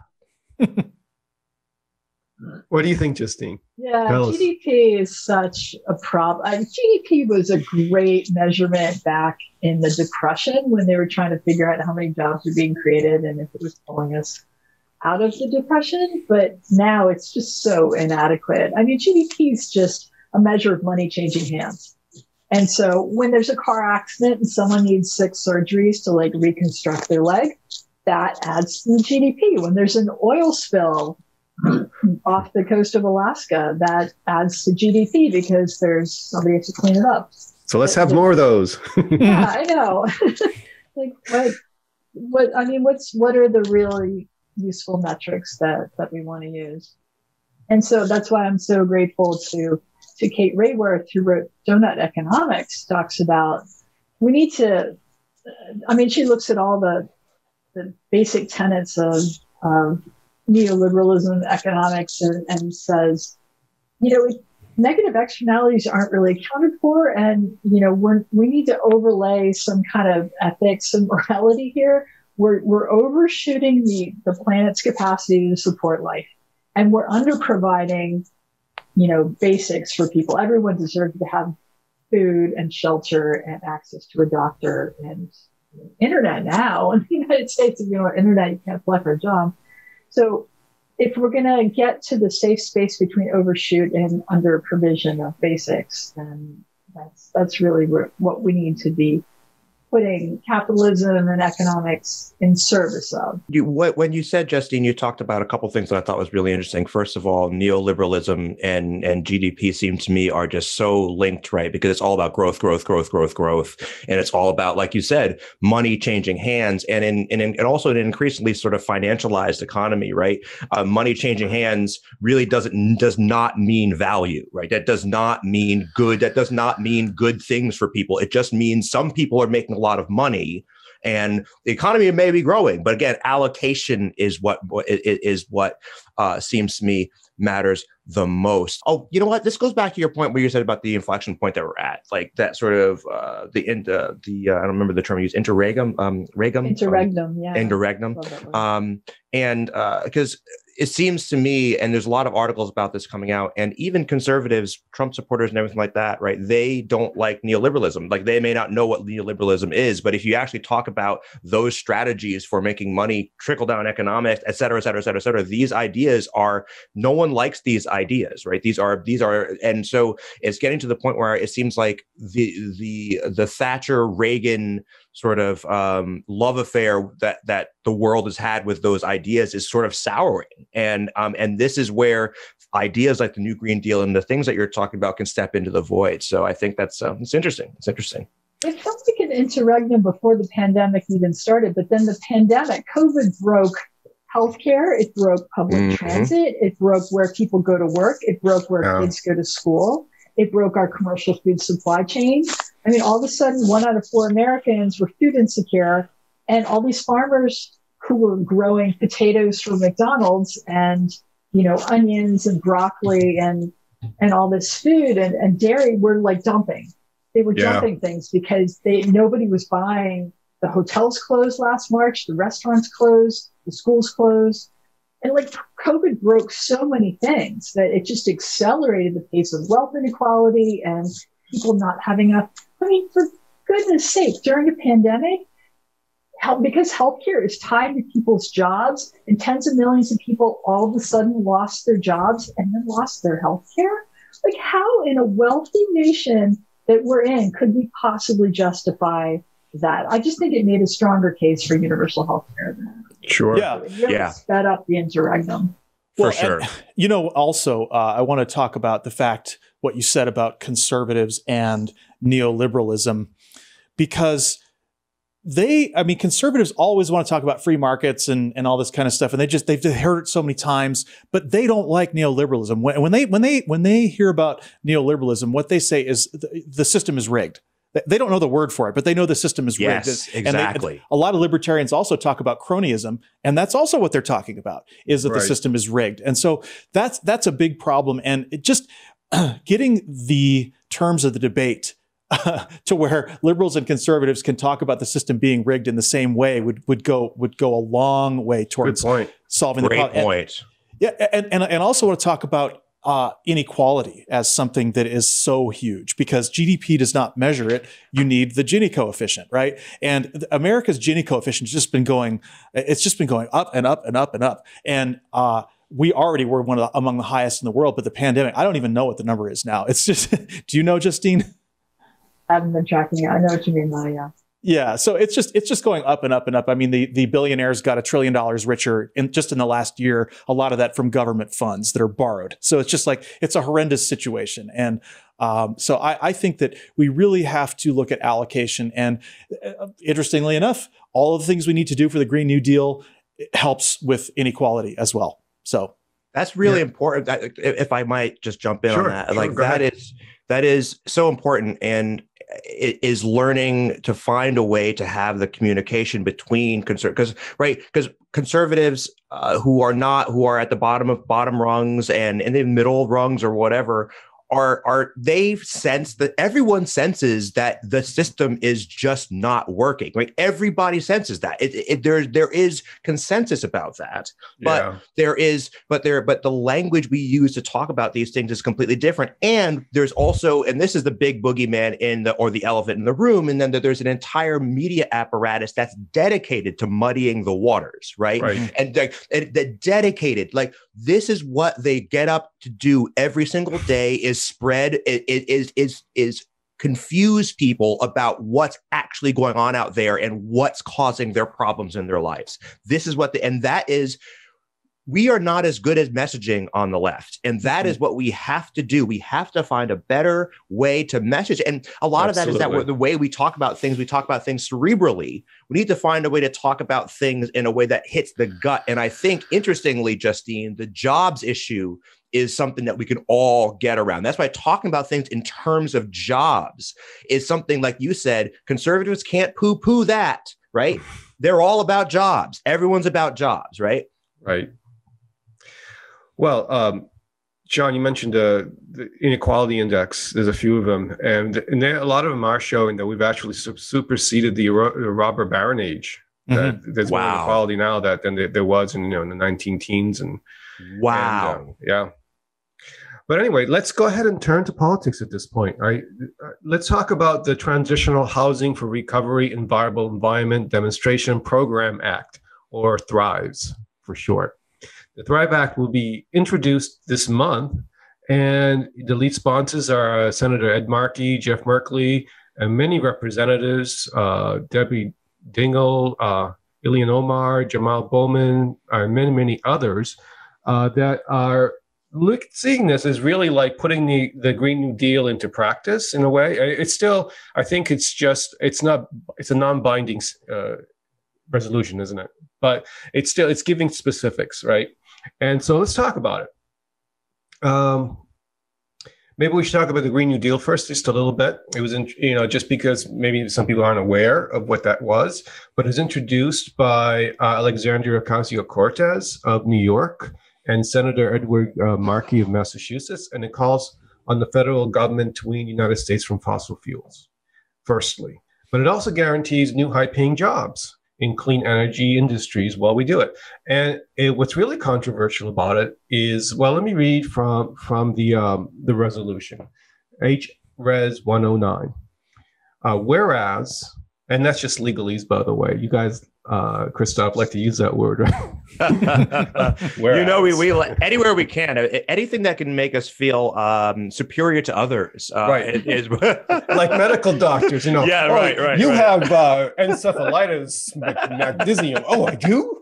Oh, oh, oh anyway, yeah.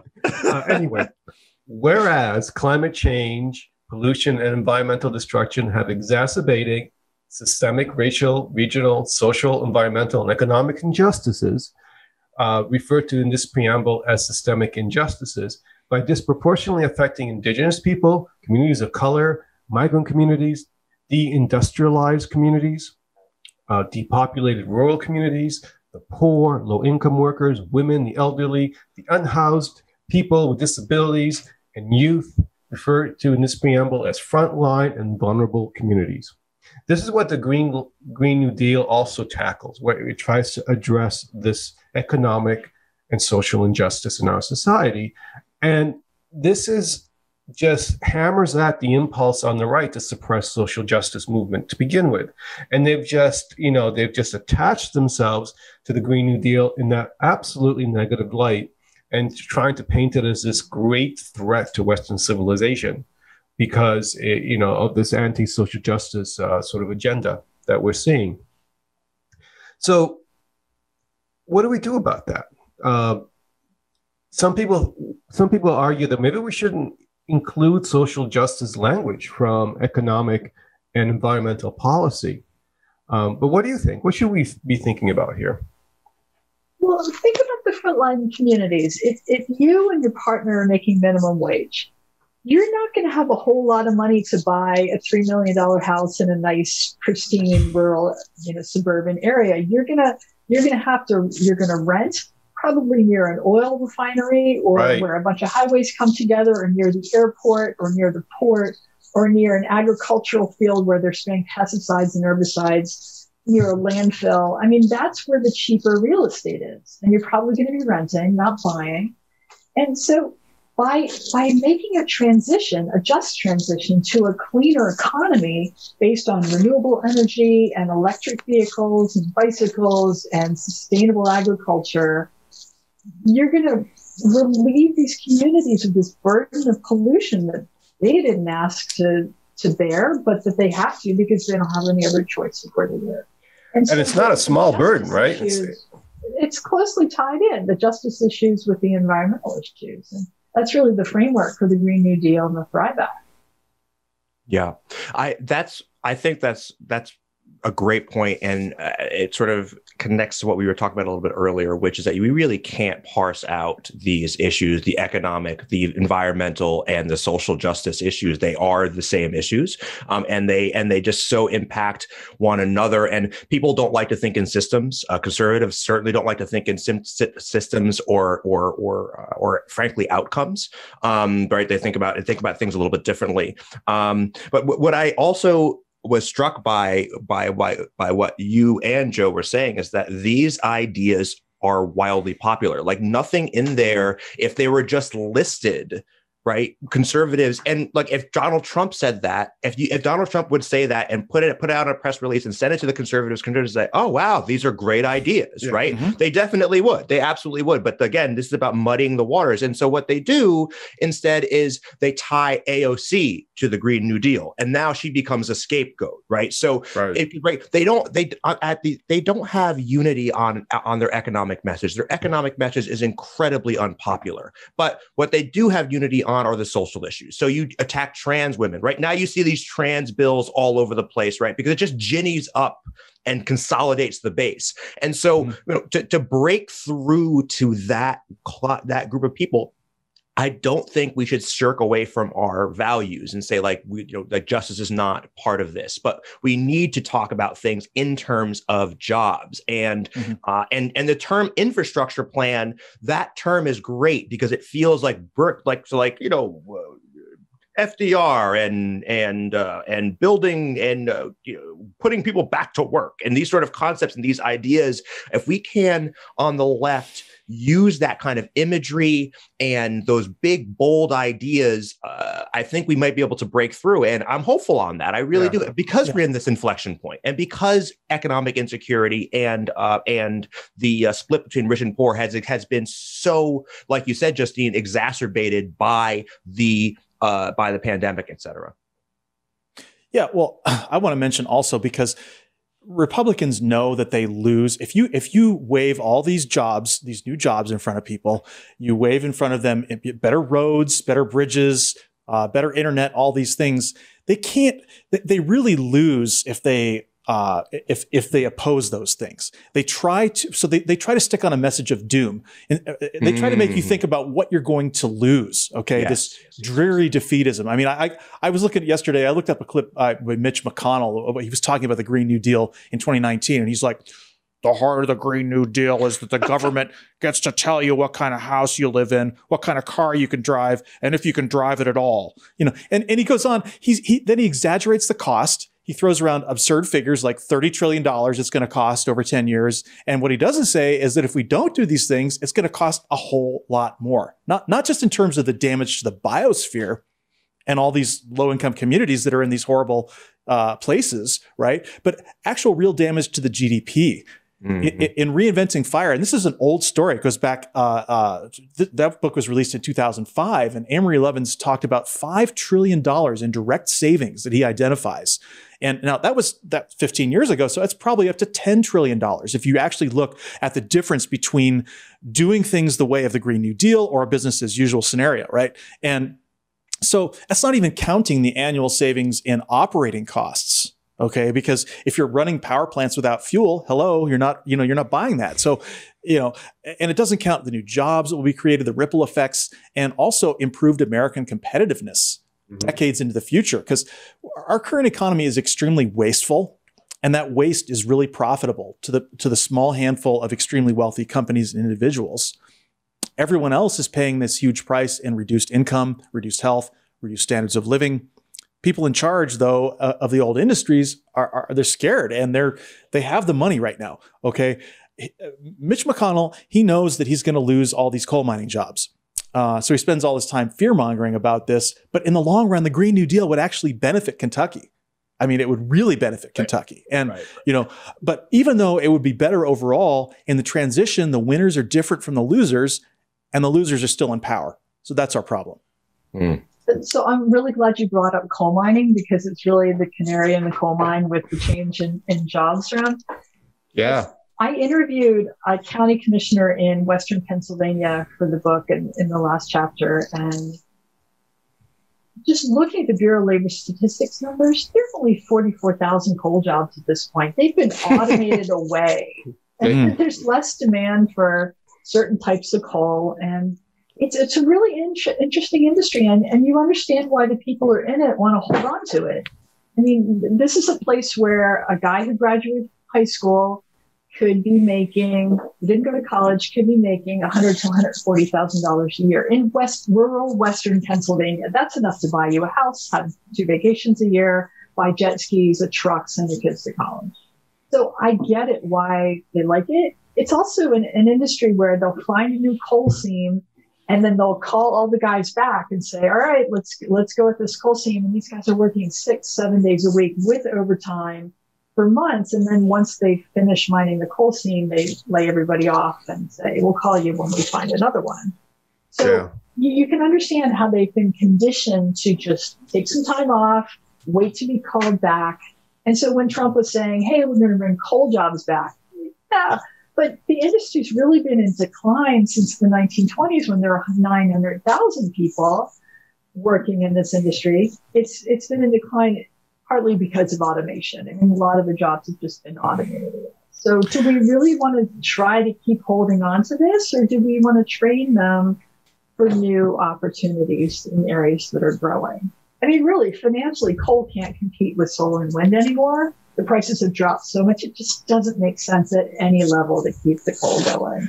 We're subsidizing yeah. it. It's more expensive. It's being automated away if you look at the uh, the actual data on the, the transformation of coal in the last century, it's staggering. You're absolutely right. It is a great uh, analogy for what's happening. I mean, we went from 900,000 to about I don't know something like 80,000 in half a century, while the, the the actual production of coal quadrupled.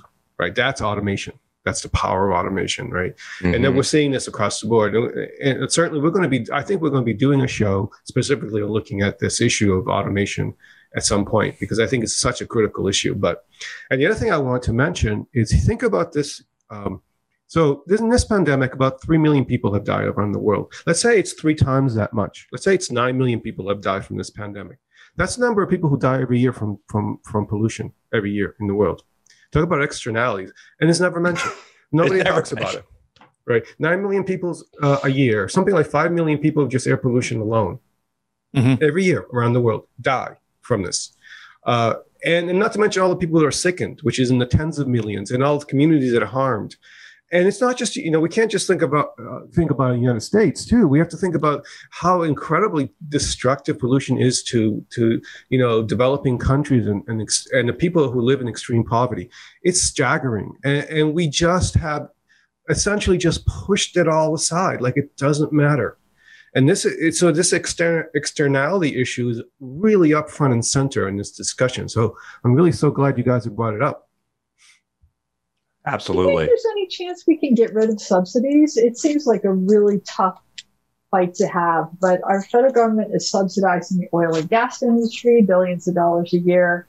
You know, the monoculture, monocrop, pesticide, herbicide kind of agriculture that's conventional and just subsidizing so many destructive behaviors that, that make it hard for recycling and sustainable agriculture and renewable energy to take off.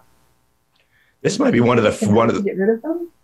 I, that's a great question, and this is one of the few points uh, that I and like the Venn diagram between me and a libertarian, and that is right, like is getting rid of government subsidies, right? Like if you like because you can't prop up dying industries, right? Um, and and that is the sort of hypocrisy uh, on the right that all the time is like, okay, well we we're all pro free market except for these industries that are that are that we benefit from.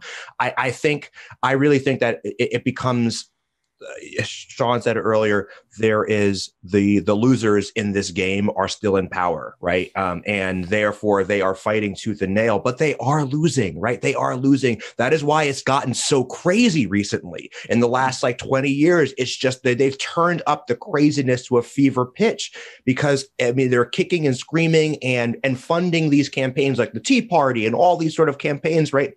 And so I am optimistic that we are at this place where this is how you get rid of this is how you this is how we get rid of those subsidies is finally overwhelming the folks that are that that stand to lose um, stand to lose. And it's been a process, it's been long. And so, like to your point, Joe, so many people have died as a result. It's ecocide. It is, it is genocide on an, on an abstract level. It is, a, it is, it is a genocide. And that's not even including climate change disruptions that are coming. That's just right. the pollution. Right. Which is like orders of magnitudes even worse than that. Right, right, right. Anyway, let's bring it back to the Thrives Act. Uh, it's the it's proposing a, something you just mentioned some of the things that that are in this in this act. A public investment of at least one trillion dollars for the next fiscal year.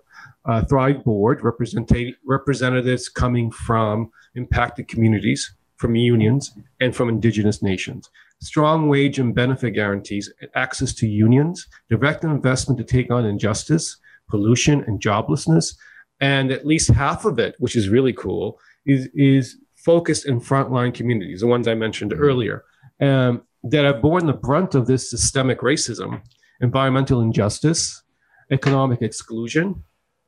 Uh, and this includes obviously like Black communities, Indigenous communities, Latinx communities, Arab communities, and so on and so on and so on, all the ones we talked about. So it's it has this great focus because that's what the people and as you said, Justine, those are the people who are getting hurt most by this. So the focus should be there. So uh, Christoph, you make a great point about how, how to package all of this to to the to America, but at the same time, we have to balance it with the reality of like who's really most impacted in negative negatively by not doing it, right? By continuing mm-hmm. the, the status quo. And um, so once again, we we have to see this. We have to talk about this very clear intersection between social justice and sustainability, and and all leading to human flourishing. While at the same time, we do need to find ways of packaging this, talking about jobs, talking about infrastructure, and so it's it, it, it, it's a tough balance, but I think we got to try to make it there. Yeah, I think that's right. Um, so uh, the uh, the intersection of social justice and um, and economic justice, I think, is is is really really critical. And I, will be quick about this, but uh, you know, I, am reminded of the Voting Rights, uh, the new Voting Rights Act, um, uh, that's that that has been proposed and which is mm-hmm. sitting because of the filibuster sitting around right so but getting what we're seeing in the, this last election which is which has been terrifying for a lot of folks on the right is is that is this new level of participation among people of color among uh, various other marginalized groups indigenous indigenous folks trans folks um, uh, lgbtq uh, plus folks. Uh, and so when you connect that with a progressive um, an increasingly progressive young young people and this coalition is uh, this coalition is it, it, can overwhelm the sort of conservative uh, resistance, the curmudgeons, as we talked about mm-hmm. earlier. And but the Voting mm-hmm. Rights Act ends up being critical here, right? Because it, it the, because, yeah. because otherwise we can't get we can't we have the votes. We have the votes. We just have to get them to the polls. And so yeah. we make that as easy as possible. I just wanted to backtrack a little bit to what you said, uh, Christoph, sure. earlier, and that is I, I don't want to to move on without addressing this point of subsidies because I think that mm. I don't I don't like government subsidies either, and um, but I do think that government subsidies have a role when there are uh, when there are industries that have been you know, th- that have not been charged for their externalities for a long period of time, like the fossil fuel industry. So, for example, the reason why solar and wind are getting as cheap as they are is because they were subsidized for a while by the government. And mm-hmm. that's helped to bring the balance now to where fossil fuels can't compete without those, without subsidies. So now you can take all the subsidies away and renewable energy would do just fine. But it wouldn't have done fine if it hadn't gotten uh, a, a number of subsidies and tax credits and things like that for decades, really. There's so, affirmative action analogy there, by the it, way, an affirmative action right, analogy there. Right. Very, very much so. And so, you know, and then the other thing is to bring the white rural Americans on board. Okay. Mm-hmm. Because if, if they can see that there's something in it for them, it might be able to overwhelm some of the negative messaging from people like Mitch McConnell. Because overall, the problem is, is that it's not a problem. It's good, but it's a problem for them as that they see renewable energy and sustainable systems automatically bringing about improved equality. And they don't like that. They want to be on top, on top of the heap. And, right. you know, people who benefit most from the revitalization of urban communities, things like public transport, walkable cities, are on the lower rungs of the economic ladder. We have to get into this whole the whole rural urban divide because the suburbs in the first place were about white flight. We can't forget that and, and especially the exurbs, right? So the farther out into rural America you get, the whiter it is, and the and the more people who live in rural America don't see these programs benefiting them. They, they couldn't care less about public transport or self-driving electric cars. They like driving their diesel trucks 50 miles each way into the city. They like living among other white people and they're not interested in having their taxes raised to pay for urban improvements. So that's the real block. And that's, this is the, this is who the Republicans are appealing to. So it's a real challenge for us to figure out how to bring the benefits of sustainability into red states and rural red counties and to change a lot of these mentalities. Good point. Yeah, I'm, I'm reminded of that rural city split is so critical, right? That is such an important part of the American identity um, right? It, it is, it is, it goes all the way back to the Civil War, pre-Civil War. I mean, it is as it is as old as this country is. This sort of uh, traditionally agricultural um, sort of uh, sort of economy versus this sort of city, and and this chip on the shoulder of the rural economy of that the that the that this that the city looks down on them, right? And that and so that and then sort of a redoubling down on some of those values, those conservative, the, the sort of rural values that, are, that we that we that we associate now with church, with uh, with guns, mm-hmm. with and and these and so and and it's tough it's tough but i do think sean that like in this infrastructure bill you see stuff and i think that's why it's so critical and they've been highlighting this and i think there's a reason why the uh, the broadband in the rural broadband upgrades that is so critical because first of all it'll it'll it'll bring folks into the real world right? The world that the rest of us live in online half of our world is online right? These folks are not part of that world so they are their their worlds are already small and now we they they, they can't even get out through the internet into the real world, into the rest of the world. That is really, really important. Again, make the stakes valuable to them personally. And then the jobs thing, we keep coming back to the jobs. The jobs thing is critical, right? Make the job that people want good jobs and those, and there aren't good jobs out there, right? There's like five good jobs in like this one town, right? Everyone else has no job or lives off, lives, yeah. li- is, is, is collecting uh, money from the government. It's, it, it's right. This is what, this is how these communities have, especially with the manufacturing gone, these communities have collapsed. I'm curious, Justine. Uh, you've walked the beat in your work, right? You've you've talked to these communities. Do you, what do you see about this this urban rural dynamic? or These these particularities around urban uh, rural areas, I should say. Uh, have you do you have anything like you could share with us? Any kind of thoughts? Um, well, just building on the the story about the county commissioner from rural Pennsylvania, I uh-huh. I said, mm-hmm. well, I'm I'm highlighting 30 different green jobs projects in my book, and he's like, oh, I'd love to see them. Email it right to you, and he's looking through, and because they they know they need to do retraining, they need to train the people who've been laid off for different jobs, and the Department of Labor had been sending them like three million dollars for their county to train. Um, coal, coal miners for, for other things, but it was all about software development, writing apps for. Oh yeah, those guys aren't going to do that. Nah, those guys aren't doing that. no one's attending the training, and it's spending. They're spending a lot of money to do it. yeah, like, oh, we'd love to hear alternatives. Well, we could be sequestering more carbon.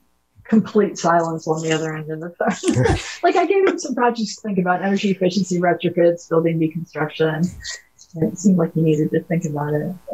I, I, just think there's there's a larger issue here. And we were talking about the interregnum uh-huh. in terms of we're in this time between kings. And, and really, since Reagan came into office, we've been told government can't do any, anything right. We just need to shrink it. And, and we haven't really been investing in our country. And so that's why yeah. it's such a shock to see, you know, Trump was talking about infrastructure investments and didn't do anything. Um, and and now Biden's really putting his money where his mouth is in terms of you know I loved Amtrak. I loved taking Amtrak from home to DC every day, and we could have a high speed rail network like Europe and China and Japan and lots of other places developed nations do. I, I just think we need to challenge this mindset that this is going to cost a lot of money. Well, you know what's going to happen to this money? It's going to become a paycheck for somebody it's going to go in their bank account and go right back out to pay their bills and then have will have the multiplier effect through their economy. But I mean, from from a deeper perspective, if we want to tie back in the, the just transition, the, the racial justice issue, in California, we're spending eighty thousand dollars a year to keep people locked up. Mm, yeah. Know, when people serve their debt to society in their release, if they can get a job that pays at least ten dollars an hour, there's a, there's a much lower recidivism rate than if they can't find something. So the recidivism rate is about 65% in California. Wow. If somebody finds a job that pays at least $10 an hour, it's 8%. Wow. wow. Yeah. Instead of spending $80,000 a year to people, people locked up and 34% of prisoners are catching COVID at this point, instead, once they serve their debt to society, let's give them jobs jobs. Let's create jobs for them, building deconstruction, driving food over to homeless shelters, recycling, like there's restoring forests. There's all kinds of work that we could be doing, that they could be doing. That even if you pay them half of what it costs to keep them locked up, we're still saving money and yeah. we're, we're yeah, building and- this just transition if you paid them half, that would be 20 bucks an hour, right? So you, you have a situation where this, we talked about this a lot in our show about money and um, mm-hmm. uh, that, uh, you know, modern monetary theory specifically and the federal jobs guarantee. And this is a point that needs to be made over and over again that Republicans just hate. But red ink for the government, government borrowing, is black ink for the economy. And so, yeah. but these people are going, oh, it's going to cost, it's going to cost so much money, but there's a gusher of that money then going into the economy to help people. I know. so important. And pay their bills. Yeah. Well, and instead, instead of f- finding jobs and helping, you know, uh, people coming out of prison finding jobs, what we're doing is just trying to stop them from voting. Right. Yeah, exactly. Right. That's exactly. where we're at. That's where we're at. That's where we're at. Anyway, this has been an amazing conversation. Do you have anything else you want to add before we kind of shut close things down here, Justine? Any funny concluding thoughts? Oh wow! I just I, I wish we let's see which one.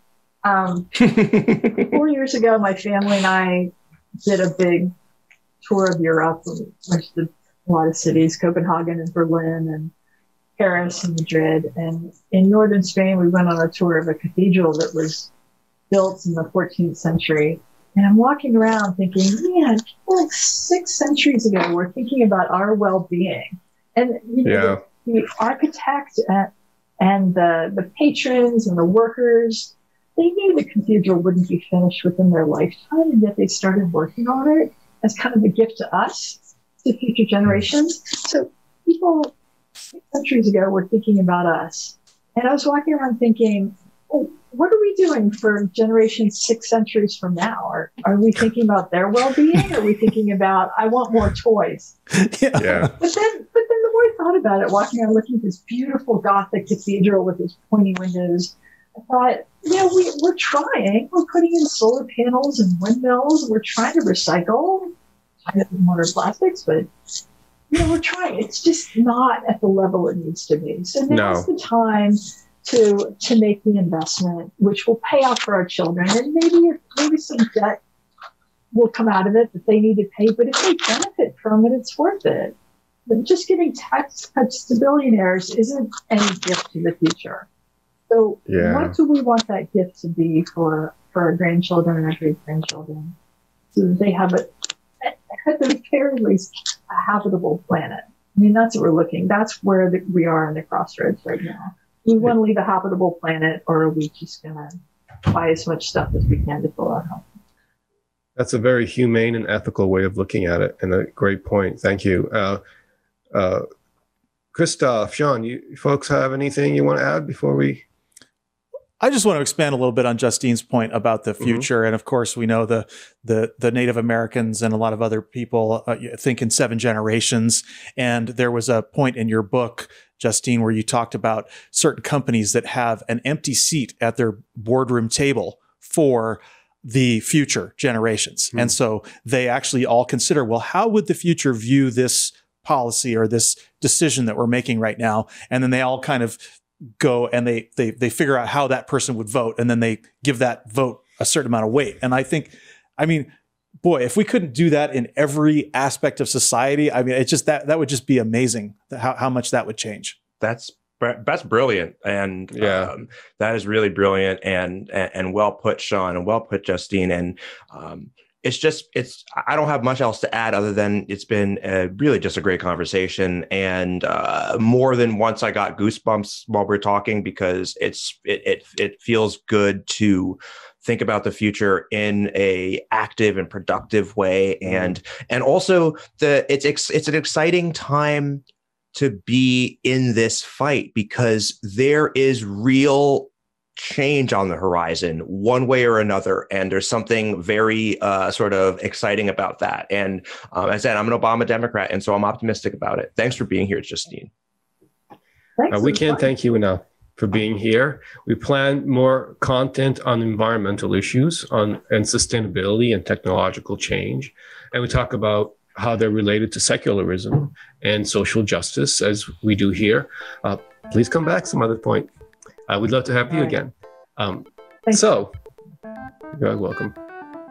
Anyway, if you like our show, make sure you subscribe, leave a review, check the radicalsecular.com, tell your friends to listen. New episodes post Mondays at noon Eastern on YouTube and all the major podcast channels. If you're into reading, check out the blog at theradicalsecular.com. I'm Joe Kipinti. Thank you for being here. And remember, wherever you are, you can be radically secular.